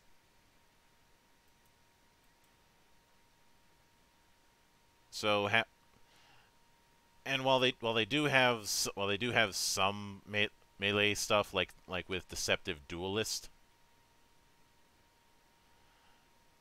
the f- the fact of the fact of the matter is is that is that a lot a lot of their s- a lot of their stuff just isn't get just isn't going to be all that interesting.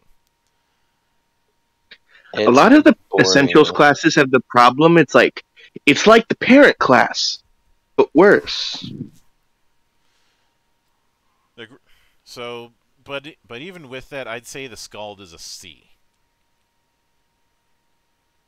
Like it's it's We're not finally going to populate the lower half of this tier list. Yeah. So, next up we have the War Priest, basically the Essentials version of the Cleric. Let me see your war face. Whoa, what is it good for? No. So the th- the idea the idea was to make a simpler version of the cleric, which uh, and for new for newbie players by essentially killing off the AEDU system. It did So, uh, it did not succeed. Yeah. Now, side note for all all people that might be watching this, um, simple does not necessarily mean bad. We have seen simple be good in plenty of other things. Mhm. It's just that this did not work. Yeah. This time. Now, the ch- the um, first off, there was a whole lot more limitation when it came to channel divinity. The the domains the domains also locked you into using a single set of powers, with your only non-domain choice at level at level one being what daily you pick. And from that point on, you get the same handful of choices at later levels, except that encounter powers are locked by domain while granting new domain features at 5th and 10th. And it gain, instead of a paragon path, it gets class features stemming from your domain. Essentially, that that whole thing of how your of how your choice of domain is the whole is the whole of your um of your subclass in fifth edition is what you have with the with the war priest. And because because of how pigeonholed it is, D. I don't I don't think there's an there's an argument for that here. What's What's funny is that even with that pigeonholing mindset in mind for fifth edition, they somehow managed to trip into a a cleric that is modeled after the war priest better than the war priest. Um, in such a way that Codzilla has written has risen again, except now it's Cowzilla. hmm Um, I look for I look forward to hearing your explanation at, onto that tomorrow.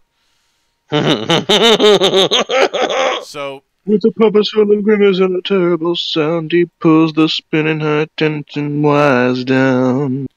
so Every time I hear Godzilla, I can just I can only think of Blue Oyster Cult. oh, there are wor- there are worse things to be stuck in your head. Um. So the next Like two- Madonna music. The next two are are the are the essentials classes that the druid was split into. The first of these being the protector, who is meant to be is meant to be a is meant to be a druid variant, but thematically has more in common with the shaman. Essentially, is the druid who wants to do the whole nature mage thing, and Instead, instead it instead it transforms a singular power into its entire daily power arsenal. Summon ally basically is their only daily power, which just gets more uses per day instead of letting you learn more daily powers. And the and it upgrades the creatures that you can that you can summon. Um, it's not as it's not as gimped as the war priest, but it is lacking in it is lacking in power. Um, It is worth noting there is like a feat you can take to swap uh, out uh, uses of summon na- natural ally for uh, druid dailies. that's a bandage, though. Yeah, that's treating the symptom and not the cause. But the the big problem is that you only get one at will, unless you're, Unless you're a human. Obviously, Jinx. But yeah, the bit the. I mean, you you have you have the whole thing of primal of primal attunement, but all the but but even but that's a cold cold comfort. You're mostly get you're mostly gonna be you're mostly get you're mostly gonna have a very a very limited ar- a very limited array of um, options. And for th- for that reason, okay, why is it not? Okay, there we go. I'd say Protector Druid is a D. Now, the of the other half of the split with Druid is the Sentinel, which was again was supposed to be a simplified take, and it doesn't elaborate why they're different to normal druids. But supposedly they do less of the shape shifting and more of the spell casting, and have an animal companion. So they're trying to be, they're trying to be third edition druids. They gain, they do gain a combined a combined attack thing, so they technically have a better use of their animal companion compared to the um, animal companion ranger. But the but from but for me, it's still not, it's not quite good enough. It's better than a protector, but not nearly as good as an as a normal druid. So I'd say they're a C. Looks like the mystery of the Druids wins out again. Mm-hmm. Now, next is the two subtypes of um f- of fighter. The first one being the Knight. Right. Yes.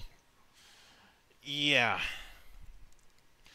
Not the best way to describe it is take take the fighter, take all of take all of these all of the sort all of the um, Iron Guardian powers. So all of these sword and board powers and features. That's your that's the knight. Meant to be simpler um and in and in, instead of instead of using exploits, you just get you get a bunch of ut of utility powers and sta and stances that modify your basic attacks with a def it- with a defender aura that used to mark foes. Spoiler alert: This is going to be a common thing with uh, Essentials Marshals. Monk, have I have I ever have I ever detailed that I really hate the excuse of simplicity as a way to be lazy? Because I swear that you and I have talked about that so many times on here before. That that simplicity is not bad, but when you use the excuse of "Mm, we're making things simpler and you're just lazy and create shit because of it, it's not simplicity's fault at that point. It's your fucking laziness. Yeah, they're um they don't they don't get they don't get at the start they get two stances which are which are minor actions and which are um, minor actions that grant passives and power strike which is yeah basically power attack and a lot of the other stuff is either improved power strike or oth- or other features or utility powers This is stupid. which This is which stupid. yeah knights knights are a D simply I don't because of how one trick pony they are I don't like it. I don't like it. You motherfuckers. I don't like it. You make this a class that's good at, at, at, at I don't know. Get, get make it the one mounted class. Give it a proficiency in some fucking sort of lances and shit. Or I don't, yeah, I don't know. Knight really just Knight just really should not be a type of class. This is not a po- this is not a power fantasy. This is a fucking powered nightmare.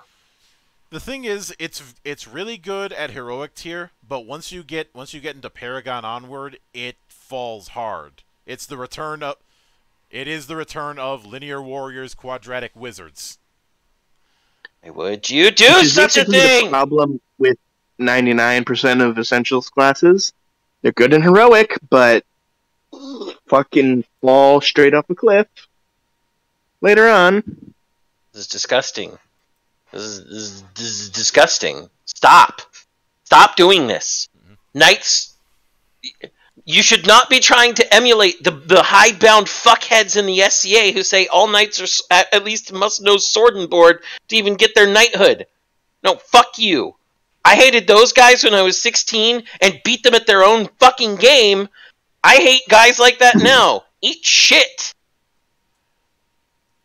When I made when I did the review of Pendragon, I think the um, I think the I think the knight character that I created in that um, preferred using a spear versus a sword. which makes makes sense because knights are meant to be like knights were not just oh i'm a minor noble that serves under a lord and and has better armor and it uh and has better privileges. The idea of a knight was i am better martially trained in multiple different weapons to be an effective tool of battle include up to and including being a mounted combatant. This is, just, this is fucking ridiculous. This is what that is. It's fucking ridiculous. I'm angry I, ah I've made I've made it clear that um there's there's nothing inherently wrong with with sword and with sword and board as a build, but it is boring as shit. And um, truth be told, I prefer I prefer sword and poke. There's a lot more Well- options that you can do with that, especially with the reach. poke and board as well works Yeah.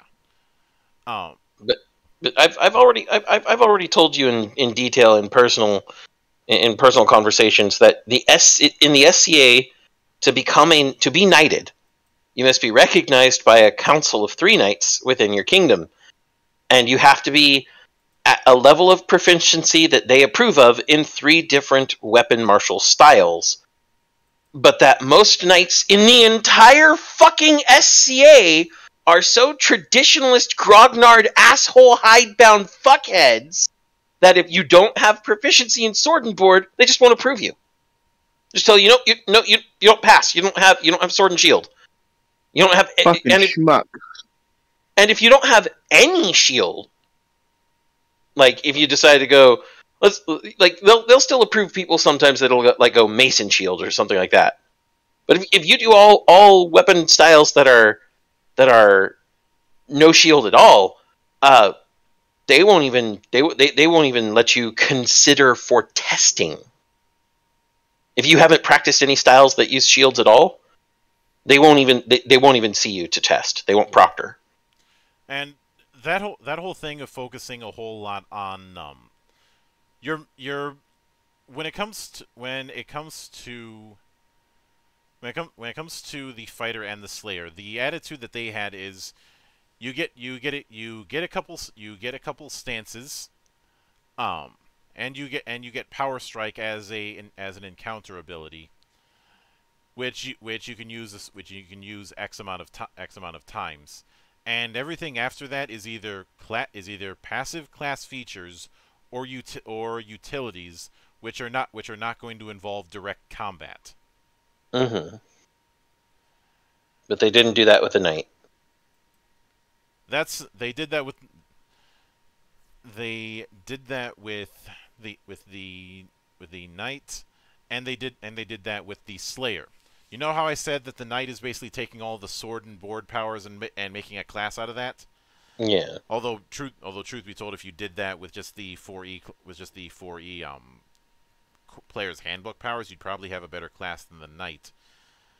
The Slayer has that same vibe, but instead of instead of sword and board, it is um, great weapons. Does it at least do better than the fucking knight, or is it just as goddamn fucking bad? It is. I'm just ju- angry. It is. Ju- it is just as bad. So it is also getting a D.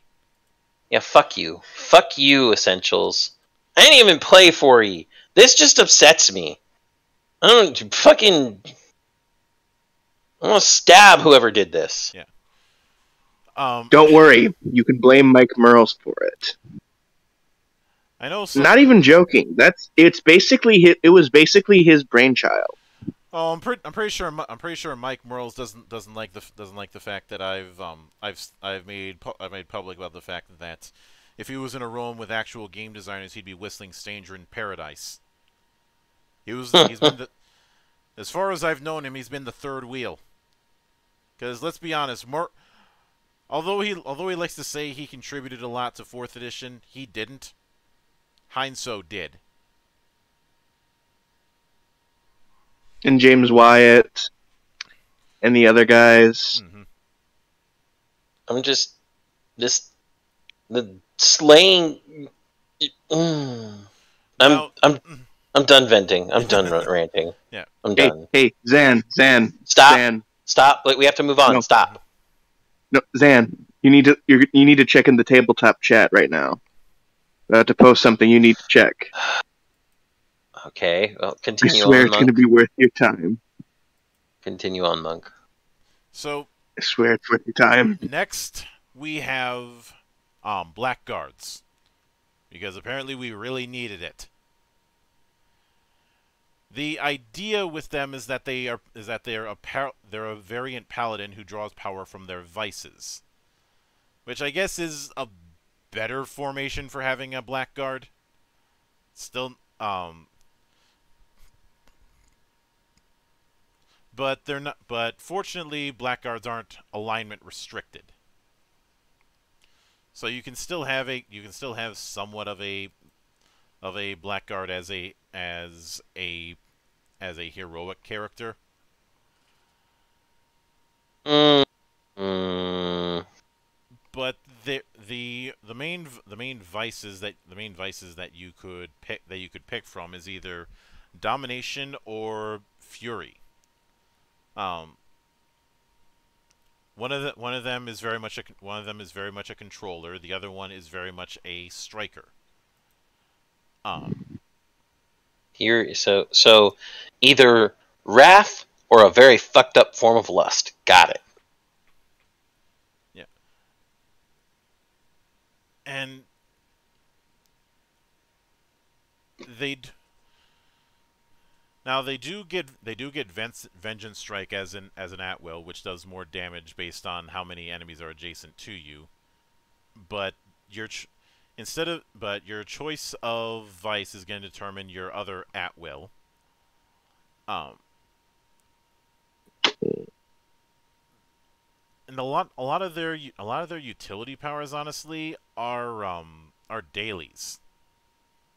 With some they do they, they do gain some encounter powers so it's they're not a, I would say that they're not as shit as the palad as the essentials fighter classes we talked about but the highest I can give them is a C Not as shit doesn't mean they're not shit. Mhm. It's just saying that they're, you know, a solid shit that doesn't make you feel like shit after you've shit it, unlike the uh, rancid diarrhea we just bypassed. yeah now that's the first Blackguards also have the um, kind of interesting distinction of having like the paladin's HP and healing surges on a striker, which is something. The big the It's big not much, but the big problem something. is once again that pit once again that um pigeonholing Yep. uh, Which is what all the essentials apparently have and makes me very angry. Now, do you? But do you see Ba- why? basically, do you yeah. see why I say that um that Essentials was kind of laying the groundwork for some of our problems with Fifth? yes. And apparently, level up 5e took some some pages out of uh, the progression of of cool stuff to essentials level stuff. Although they did it in less time. Um, Apparently, they were speedrunning. Yeah. So next is the Cavalier, which does have its roots in old in old school gaming. Um, and the Cavalier was a was a paladin kit that appeared in the early days of Dragon, like way back in the way back in the eight. It first appeared in Dragon number seventy two, and then in Unearthed Arcana back in eighty five, which I still have that book, and then again in Dragon one forty eight. Um, it was basic. It was basically Gygax's Mary Sue Paladin, which is why it got so much hate. Um, because first off, you already have the lawful stupid shit. Then, then you have the fact that it that it is forced to charge enemies. So you have lawful stupid and Leroy Jenkins in one package. Let me guess. The third, the third, um, the third strike is the fact that it's charging on foot. some um something something like that. The other one the other one was a was a fighter variant that just had more fighting skills from from the from the saddle. Um and then and that version would reincarnate in 3rd edition as a prestige class for in sword and fist. Um but the but truth be but the Cavalier as a in the in the fourth edition obviously is a is a variant of as a variant of Paladin is basically a sim is a simplified Paladin. It is set in its ways of getting a of getting a defender's aura, and and ho- holy smite and righteous radiance, which is a opportunity attack, righteous shield, which is a in, which is an interrupt that lets you take damage for an enemy and gives and gives you an attack bonus. Valiant strike, which is an at will, that's kind of that's kind of like vengeance strike. But much like the blackguard, the only real choice you get is the virtue that you select. Sacrifice lets you lets you use second wind to heal allies, and valor just gives you a better healing surge and a, an initiative bonus. Um, Uh, so it's called Cavalier mhm. and has nothing to do with mounted combat. Don't you just love using random ass names that you just think sound cool? Both. Well, I mean, the word Cavalier is de- is developed from the word chevalier, and the word chevalier is French for fucking knight. And they're both defenders in this game. Well, because of the fact that it's it's largely got all the same problems that the Blackguard does of being very set in a in a in this one specific type of paladin that it wants to be. I think Cavalier is a C. I, I, I. Mm, So, one last thing from most people I've talked to are generally in agreement that the Cavalier, when you use the uh, unreleased hybrid form of it, is better than a hybrid paladin. To be quite honest, I never used the hybrid classes because I thought they were kind of pointless. They kind of are. You are you Unless you, like- have a, unless you, like- it's for those people who want who want to multi-class in a more traditional manner. But I I per, I personally find that there's a far more that the multi-class feat system is far more elegant. See, I like the multi-class feats too, but my problem with them is that you have to like it's a pretty big feat tax if you want more than just like one power from the class. and that's the that's the uh, that's the sacrifice you're choosing to make. That's the trade-off. Yeah. Now, you know how you know how now when it comes to the ranger, that got split into the scout and the hunter. The scout is try, is trying to be a simplified version of the two-weapon ranger. And it it um it does get and kind of ha, kind of has kind of has the the a bit of the similar issue in the fact that it has it relies on it relies on stances, basic attacks, and power strikes. And because of that, I find the scout to be a D. Yeah, it does get wilderness knacks, but the the wilderness knacks are basically skill feats. which we covered in some of the stuff about level up 5e. The exploration knacks just being feats by another name. And you, and with the, when it comes to a lot of the utility powers that they get, most of them come off as dailies. I just. At this point, all Essentials is doing is pissing me off, Monk. Um, Well, keep well get ready because it's only just begun. No, it hasn't. We only have nine, ten classes left. now, Yes, but you're just gonna get more mad. the other half is the hunter, who's ba- who basically ca- who basically is doing doing the same thing that we saw with the scout, but with the archery part. It is the worst class in 4E Um, from a pure optimizing perspective. It does. It does get. It does get free expertise feats. It does use. It does use the same stances as scouts. Um. You all. You all. And and um. you also get disruptive shot, which is decent. Uh, but the, but you have no you have no daily you have no daily powers.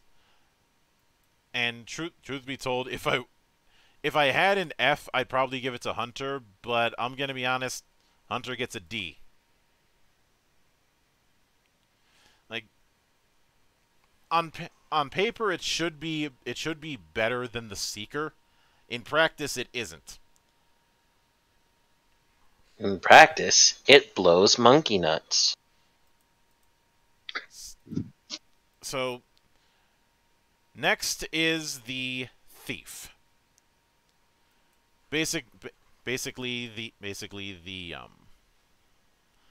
Oh, and I I I have, I um.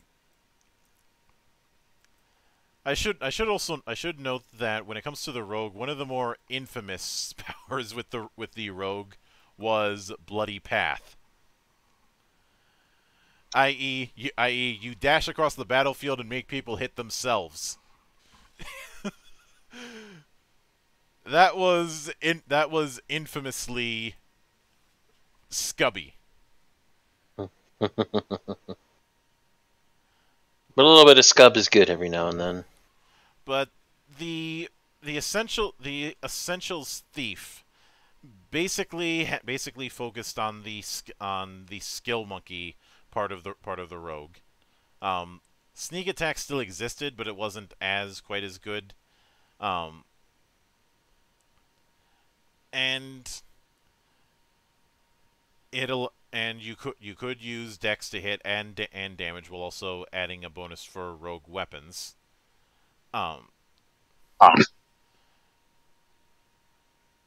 So I'd s- I'd say it it certainly fits its particular fantasy, but I can't put it higher than a C. Because it's Certainly. outclassed by its by its older brother, the rogue. By a lot. So Yeah, there's like literally no reason to play a thief. so Like- nec- go ahead. I, I, I'd- I'd basically like to point out that this points out how you can take a class that was so obviously S that it, that we might as well have created a double S or even triple S rank for it, and uh, and by breaking it down into a simpler class in the wrong way, you you neuter it to the point that it's shite. hmm Now Don't do next, it. Next is the Elementalist, which appeared in Heroes of the Elemental Chaos, and was essentially was essentially the um, essentially the sorcerer.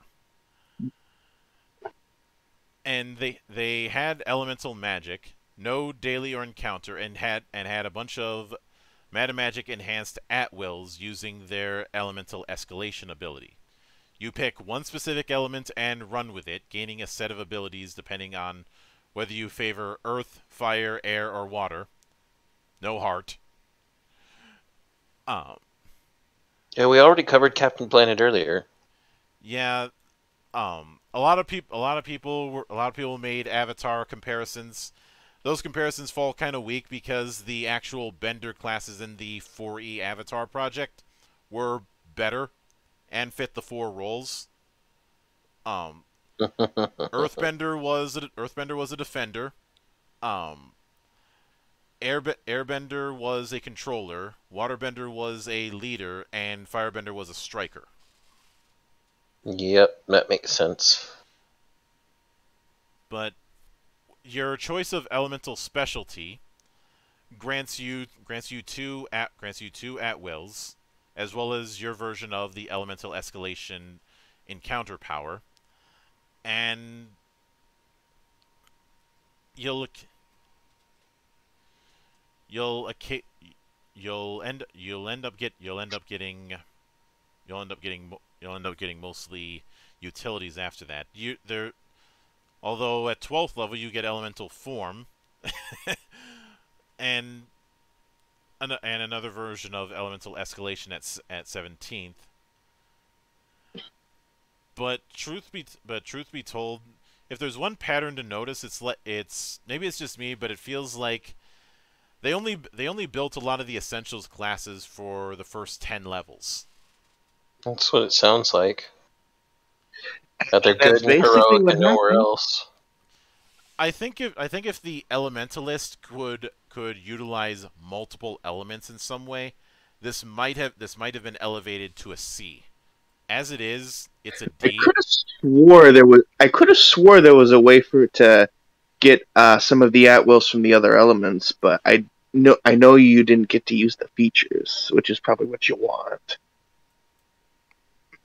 when the sorcerer proper can throw can throw in a bunch of elements simultaneously and the elementalist has to pick one of the of the big four hell even even the elementalist in fucking guild wars 2 could utilize four different elements as stances Yeah, but Guild Wars 2 is an actually good game, so I mean, yeah there's- you're not you're not you're not making a comparison between this and Essentials.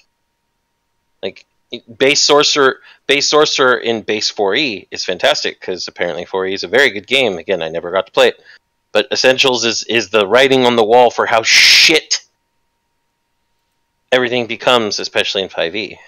Now, this is the next one that we have is one of the weirder entries into into um into the classes that Essentials did. We have and this is one of those things that I've gone back and forth on for years. We have a vampire class. Vampires are a race template, not Oh. a class. Oh God, no, not the vampire. The only time vampires are a class is if you're playing World of Darkness, and even then, it's not a class; it's still a race. Not only that, but they're a they were the other class that used the shadow power source. Oh Jesus And Christ! they're also a striker. Oh Jesus Christ! Um, apparently, apparently, all of the All all of of the- shadow classes are strikers. for some fuck all reason. Because you strike from the shadows. Apparently, apparently, I blame the, rules. The explanation that was given was that they wanted players to feel like they were playing the classical vampire with a lot of the powers based on that kind of lore. The whole turning into bats, the mist, the wolves, drinking blood, and all, Yeah, and but all that. the vampire's most famous powers that were used most often i- i- were never used in combat. They were all the charm powers. If anything, a vampire would be a controller. Fucking Christ! And you know what's the really when it's the biggest fucking insult to the vampire class? Not only do we have Vryloka, which is like a race of vampires, but we also have vampiric heritage, which is a feat a humanoid can take. hmm So you can just you could literally just double down on triple down on, on vampirism, and then you fucking suck because vampire is a fucking horrible class. Or Uh, even better, why not just take? Why did I? What the question I always had is, why not just copy paste what you did with revenants?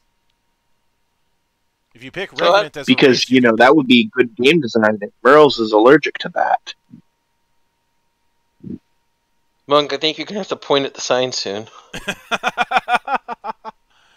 I will never stop hating Mearls. get in line. But- But uh, but Monk, for my benefit, I don't even have to say for the audience's benefit here. For my benefit, since I don't understand what the vampire class even fucking does, all I know is that it sucks. What the fuck does the vampire class do? okay. Uh, it dies in the sunlight. First off, you ha- you have you gain the following features: Child of the Night, which does what you'd think it would; Blood is Life, which is which is a way for you to get healing surges back; Enduring Soul, which gives you regeneration when you're bloodied, as unless unless you take unless you take radiation damage. Um, Hidden Might, where you where um you get where you can add. your Ah, I knew charisma to ba- vampires were, le- were weak to nuclear weaponry. um, vampiric reflexes, which which um, grants you a, grants you a bonus to AC when you're wearing cloth armor or no armor and you're not wielding a shield. You get you get three at will attack powers: Dark Beckoning, Taste of Life, and Vampire Slam. the Blood Drinker encounter power, the Swarm of Shadows daily power. Um, you get Feral Assault at third level. You get Strength of Blood at fourth. A whole yeah no, at the very least they're at the very least they're um they do gain a few they do gain a few attack um, powers uh, as they level, and it is tr- it is trying to go with the classical thing classical setup with vampires. But they tend they tend to fall you tend to fall into one of two bloodline archetypes. Beguilers or stalkers. So either you are uh, Bram Stoker's Dracula, or you are the black and white Nosferatu movie. Got it. Oh, hey Zan. Yes. Remember when uh, Mildra was mentioning uh, your way to regain healing surges? Would you like Uh, to know why that is? Because you're drinking the blood from things. No, because vampires natively only have two healing surges. Uh, that that is that is that bad? Two healing surges Most- per day. O- okay, I don't know how And that usually stacks you have other. you use you usually have six plus your cons uh, modifier surges Oh. per day. Oh, okay, yeah, never mind. That's bad. Um.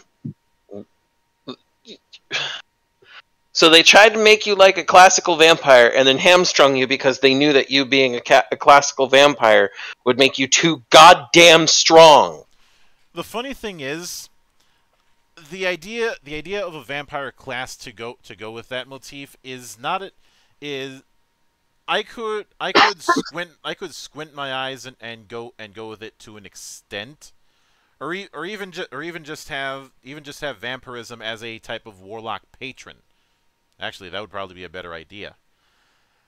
Um, the big problem though is that is that this was done in the essentials era, i.e., you're not going to have a whole lot of choice because say for instance this vampire class was done using the f- design framework of core 4th edition in Mhm. that regard you could have the option to do something ki- something kind of like the vampiric clans where you could where you could have sets of powers that re- that are more reflective of those cl- of those clans or of those bloodlines um, Warhammer Fantasy does the same thing with the vampire with the vampire counts. So, so essentially, you could you could do it like how Old World of Darkness did it with their vampire clans, Yeah. if it were made in base 4E. But unfortunately, Vampire was designed in Essential, and Essentials operates under the idea that the players are fucking babies and can't make choices. So That's- vamp vampire gets a D if only if only because there were there were ways to make this work. I I can can I, I it go, it's the second class that goes in my own personal F because that's I've decided that F stands for flames, fire, fucking fury. Do do I need to go on with this alliteration? No. Okay, good. My F tier stands for fuck off. So Not as fun. next is Binder, one of the two one of the two um warlock variants.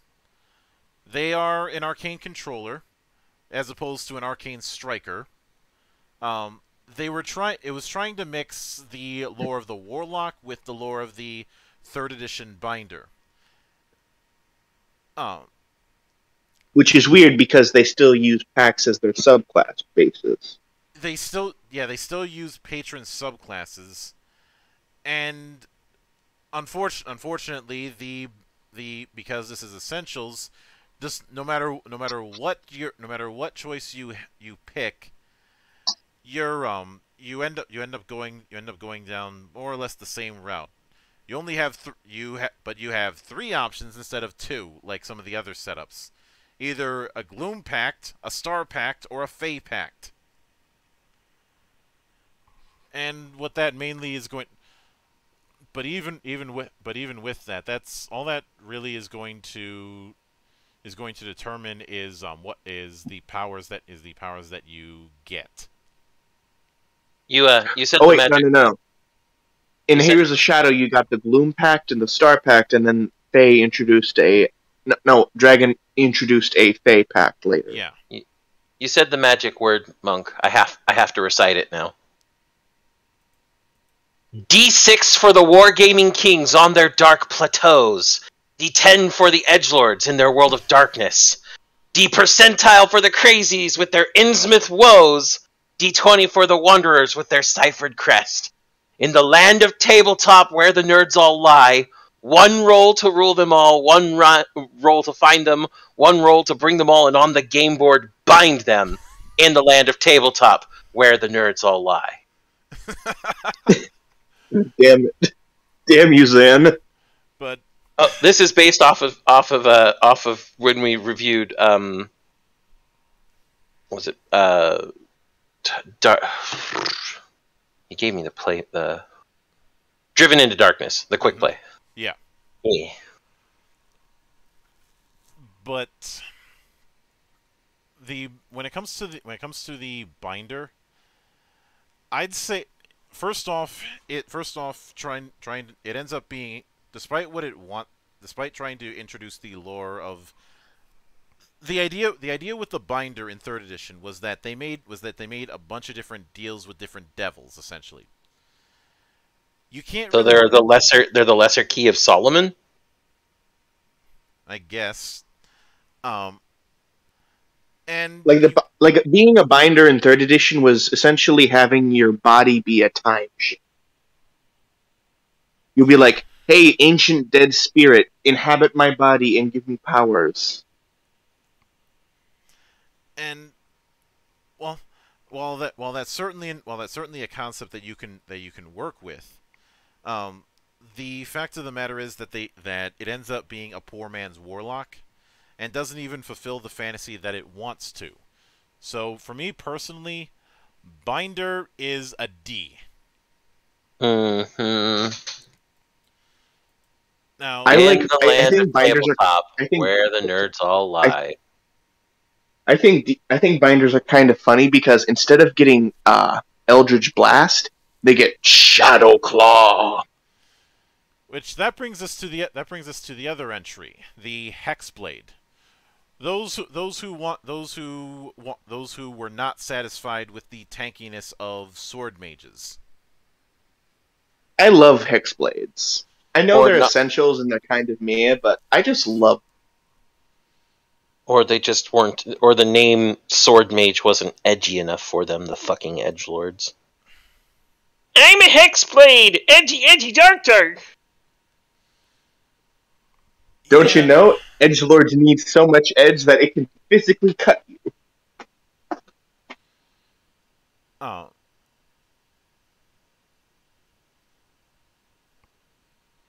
Now, Hexblades are still arcane strikers, still based on charisma, but they focus more on close range, with one hand having an implement and the other hand having their pact blade.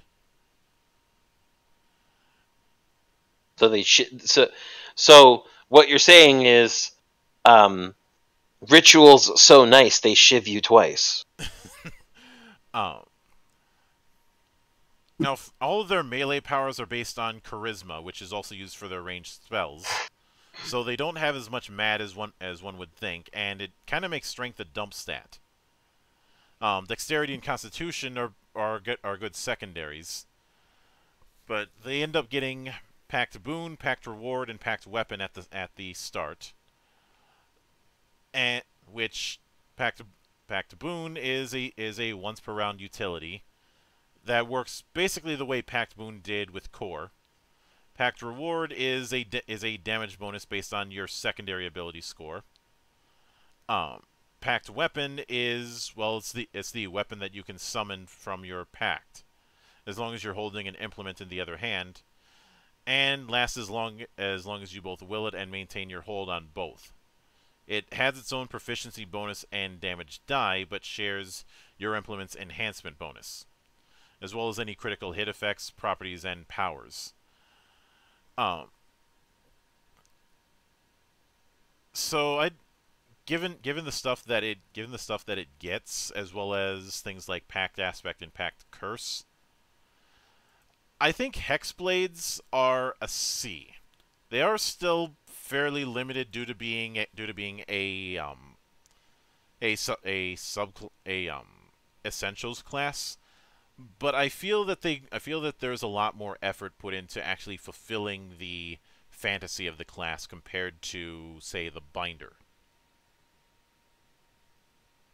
It's still I would definitely agree. It is nowhere near as good is nowhere near as good of a um uh as a sort of as a sword mage which we put as B. And actually if somebody wanted to do the Gish thing I'd recommend they go with sword mage instead. Um then we get to the wizard and that had Oh, you want to hear something funny about the Hexblade before we leave? go ahead.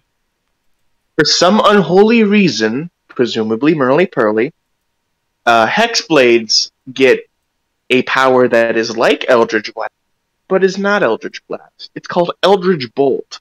It's identical to Eldritch Blast, but it's not Eldritch Blast, so you can't use any of the amazing feats to buff it.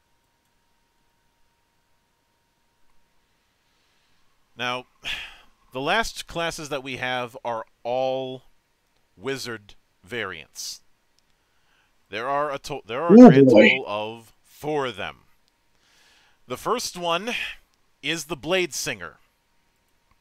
Why the Blade Singer was deemed necessary is beyond me. Because somebody wanted to have their cake and eat it too, Monk. You know what the answer is. Yeah. Now, I feel bad for the Blade Singers. apparent, apparently it's because some people didn't think the the sword mage wasn't a true conversion of the blade of the old blade singer. This was this was not this was in the Neverwinter campaign setting book that was made as a tie-in to well the Neverwinter MMO. Um, Which, in extension, is also a tie into, well, the Forgotten Realms. So,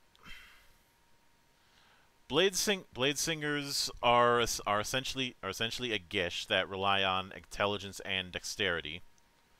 Oh, mad. Hooray. Um, mainly That's mainly inte- great. mainly intelligence for the, for their for their setup. Although, for what for whatever re- for whatever reason, most of their sp- mo- even though even though they're supposed to be gishes, most of their spells are ranged. Hmm. Also, let's talk about how most of their spells are their daily powers, but they select them from a wizard's encounter powers. That's a thing. Yeah. It shouldn't be a thing, but that's a thing. and you do get to you do get the option to treat to treat um blades as im- as spellcasting implements. Um, and it essentially ca- it essentially it says that it counts as a wand, but ne- but it's never clarified what that means. I'd assume that it f- that it functions as per wand of accuracy, but again, it's never stated. You do get Or, you know, like wand expertise. yeah. So, uh, so I, this is where I, I shill heavens and heresies again.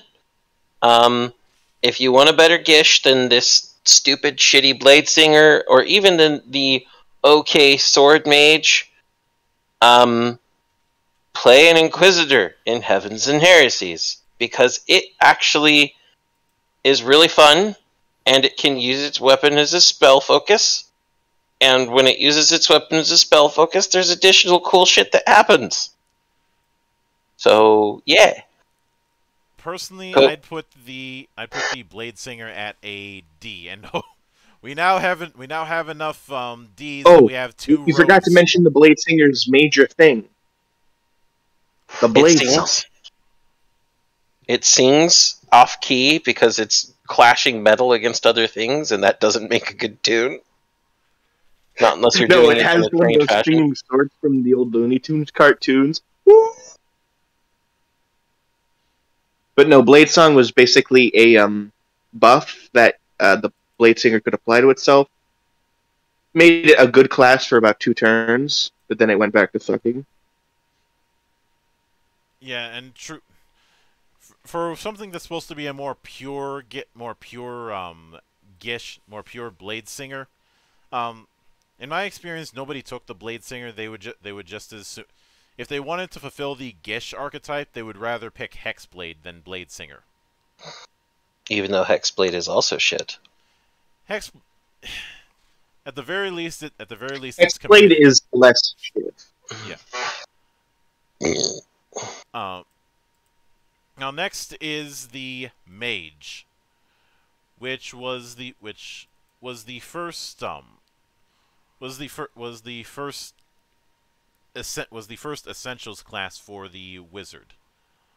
Um, and you know how you know how the fifth edition wizard has that whole thing of when when you pick your subclass, you're expected to pick one school of magic and stick to that Yes. it's kind of like that with when it comes to when it comes to the when it comes to the mage. It was there. It was there for people who wanted the return of the specialist wizard. You Ah, choose, a, so- choose a school of magic and gain and gain class features based on that school.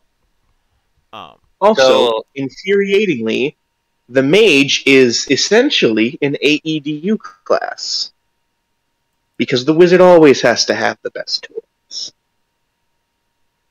Um, I would like to point out a book series that some people should probably read.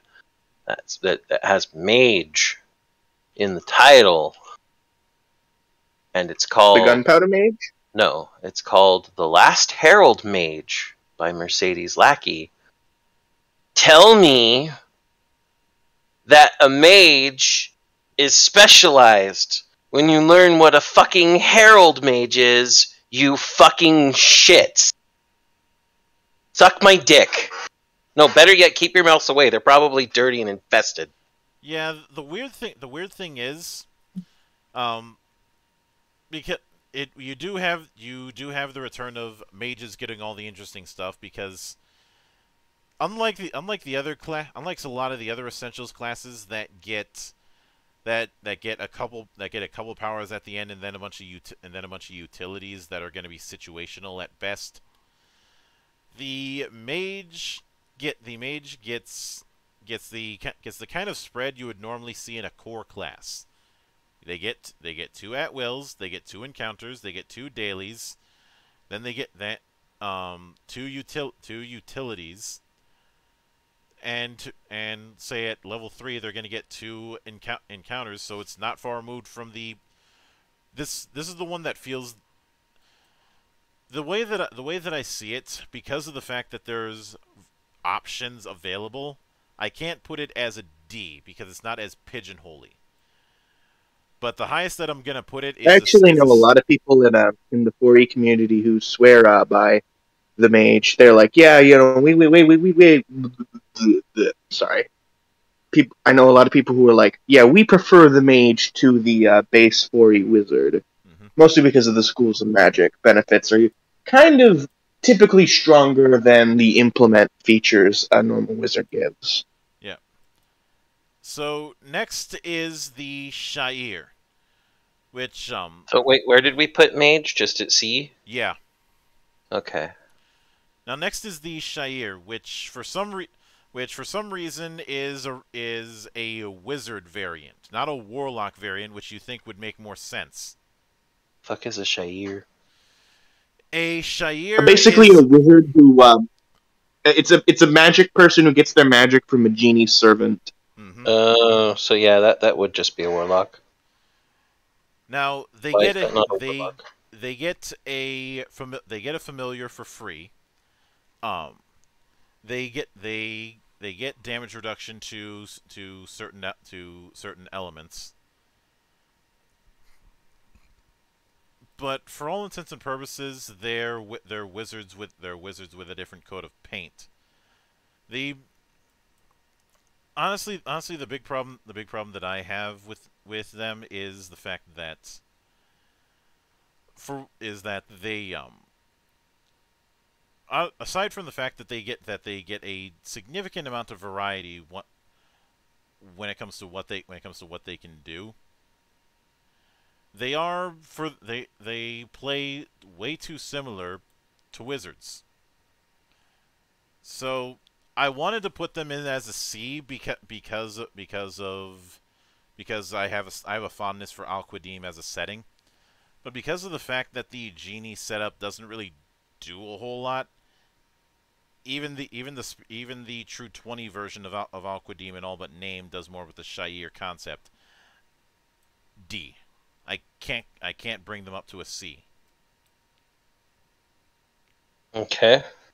Because when when you think about the idea, the idea of them call, of them using genies to cull energy from the elemental chaos, you should be doing a lot more than just the same stuff you do as a wizard. Yes. At the very least, they should have been they should have been under a different archetype. But the last one is the witch. the witch. I'm listening. Not sure I want to anymore, but I'm listening. Uh, now the now the witch cha- the first off the first off witches start off with Algary being a util being a utility they get right out of the gate and getting arcane familiar alongside cantrips. The familiar is basically your spell book. Um, you you do have cho- you do have choices between one of two covens, the dark moon and the full moon. Um, dark Sounds to me like this is just Sailor Moon. I'd say I'd say it's more of are you a good witch or a bad witch from Wizard of Oz. And each coven locks you into a mediocre encounter power. The themat thematically it's thematically it certainly fit it certainly fits the fantasy of you're either you're either you're either the fairy godmother or you're the wicked witch of the west. So- Fly, my pretties, fly. but it has a lot of the same problems that the problem is essential that it's a wizard subclass and not a warlock. yeah. You would th- Like the same problem with the Shair. you would th- you but I'm willing to put it I'm willing to put it as as a C because at the very least it's making a better attempt at fulfilling the fantasy although other games have done it better. I just want to set everything that's on C tier and lower on fire. I'm just gonna set it on fire. It's shite. Set it, set it, set it on fucking fire. You want to borrow my lighter, Zan? No, I have plenty of fire here. Don't worry. We have the fla- we don't need a lighter. We have the Flammenwerfer. It verbs flammen. Wait, do we use fire or do we use fire power? Yes. Shit. But overall overall I'd say I'd say if I'd say if there's any if there's any lessons to this is that um Essentials was a terrible idea. There are right and wrong ways to do simplicity. This was a wrong way. Yeah. When it came to the best classes, what they what they did, what I think the the best classes that we saw were ones that found way found different ways to fulfill their niche. It's very easy to it's very easy to fulfill a, niche in one specific way, and those were the ones that were that were either that were um that were B that were Bs. The middle of the road ones were were certainly on that or one the A's were ones where th- where they were very good at fulfilling their niche, but they were missing a little oomph. The B's were ones where they certainly fulfill their niche, but you do have but you do have to have a bit of an optimization mindset for some of them. It- yeah, it's, they And fulfill their a lot, niche. A lot of them were like a lot. A lot of the B tiers were they just kind of did their niche one way and weren't very uh, friendly to you uh, doing it other ways.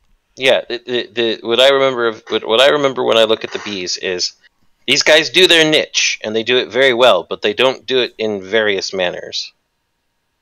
Whereas A does it in various manners, but is missing that small bit of panache and pizzazz that you need for something even better. Mm-hmm. And then, of course, S ranks are like all the bells and whistles, all the things that make your butt tingle, all of it. Yeah. The C the C's were ones that either fulfilled their fantasy or ju- or just uh, and or or were just or were just um, outclassed by other classes. And the D's were ones They, they did the bare minimum. yeah, and the D's were ones that barely fulfill their class fantasy and don't have a whole lot of variance. And one could one could argue why, as far as why I have such a such a massive um, hate boner for for the for the lack of variation among some among some of the classes. The reason for that is ver- is very simple. People, I believe, want to customize. They w- Oh yeah, personalization's all the rage. very very much so. The f- the fact the fact that um when it came to when it came to my runs with Diablo 2 back in the day and with um Grim Dawn or Path of Exile now that I can go I can go into arguments for hours about optimizations or about custom builds or even some of the crazy build options that we've that we've seen when it comes to the Souls games like somebody trying to beat Dark Souls 3 using nothing but weapon arts And they did it too. Yeah. or They, they said, "Can you beat Dark Souls as an anime character?" you can go look up that video if you'd like, people. But the fact of the matter is that people want to personalize. And as one could and yes the concept of feats was a mean was a means to do that but when you when your when your when your attempt at personalization is just a different flavor text but doing the same effect that's not personalization. That's window dressing It is paying lip service to the idea of customizing and personalizing your character. Mm-hmm. You're customizing. See, you're making choices. The choices don't mean anything. This doesn't mean anything. That's not personalization. You stupid fuck. If you really wanted that, if you really wanted that level of customization, you'd be bet you'd be better served um, playing a late BioWare game. Or a Bethesda game. Where your choices really don't matter and you still end up Stealth Archer. Funny you say that. I'm actually playing through New Vegas right now. That's Not at the Obsidian. moment, That doesn't count. That's Obsidian. That doesn't count. hmm See what I mean? Your choices actually matter in New Vegas. Regardless, it's a bit off the weeds right now. Yeah, but that that is going that is going to do it for th- for this particular episode. Um, I'm n- it's not going to be anytime soon, but maybe down the line I'll do this again with the races, since the races in fourth edition do matter a significantly. while. We're gonna we're gonna practice for e racism. Wait, what? I can say, I can say this though. I will not do this with Paragon Paths or Epic Destinies. Too many moving parts and well, too many options. Period. That's Have you seen the 1d4 Chan page for Epic Destiny's Paragon Path? stop. No, no more. No more. hmm No but with with that said, um, coming the come tomorrow we ha- is the ne- is going to be the next episode of Valley of the Judged. Um, I do have a return interview that I'm going to be doing on Saturday, and on Sunday there's a bit of there's a bit of a twofer. One, I'm going to be part of a I'm going to be part of a podcast attempt that a that Mad Monarch is doing that we're that we're calling the Adventures of Monk and Monarch. Um, fun, fun. I decided to come up with the name. As, I the name was my suggestion as a nod to the Adventures of Duane and Brando. hmm And um, later that night on Sunday, we will be ret- we will be returning to the, to these haunt to these vaunted halls for the third part in the Exodus trilogy. And I, by the end of it, am probably going to piss off every class main in Final Fantasy XIV. No, most of them will probably be laughing, if I'm honest. Most of them will probably be laughing. The rest of them are scholar players.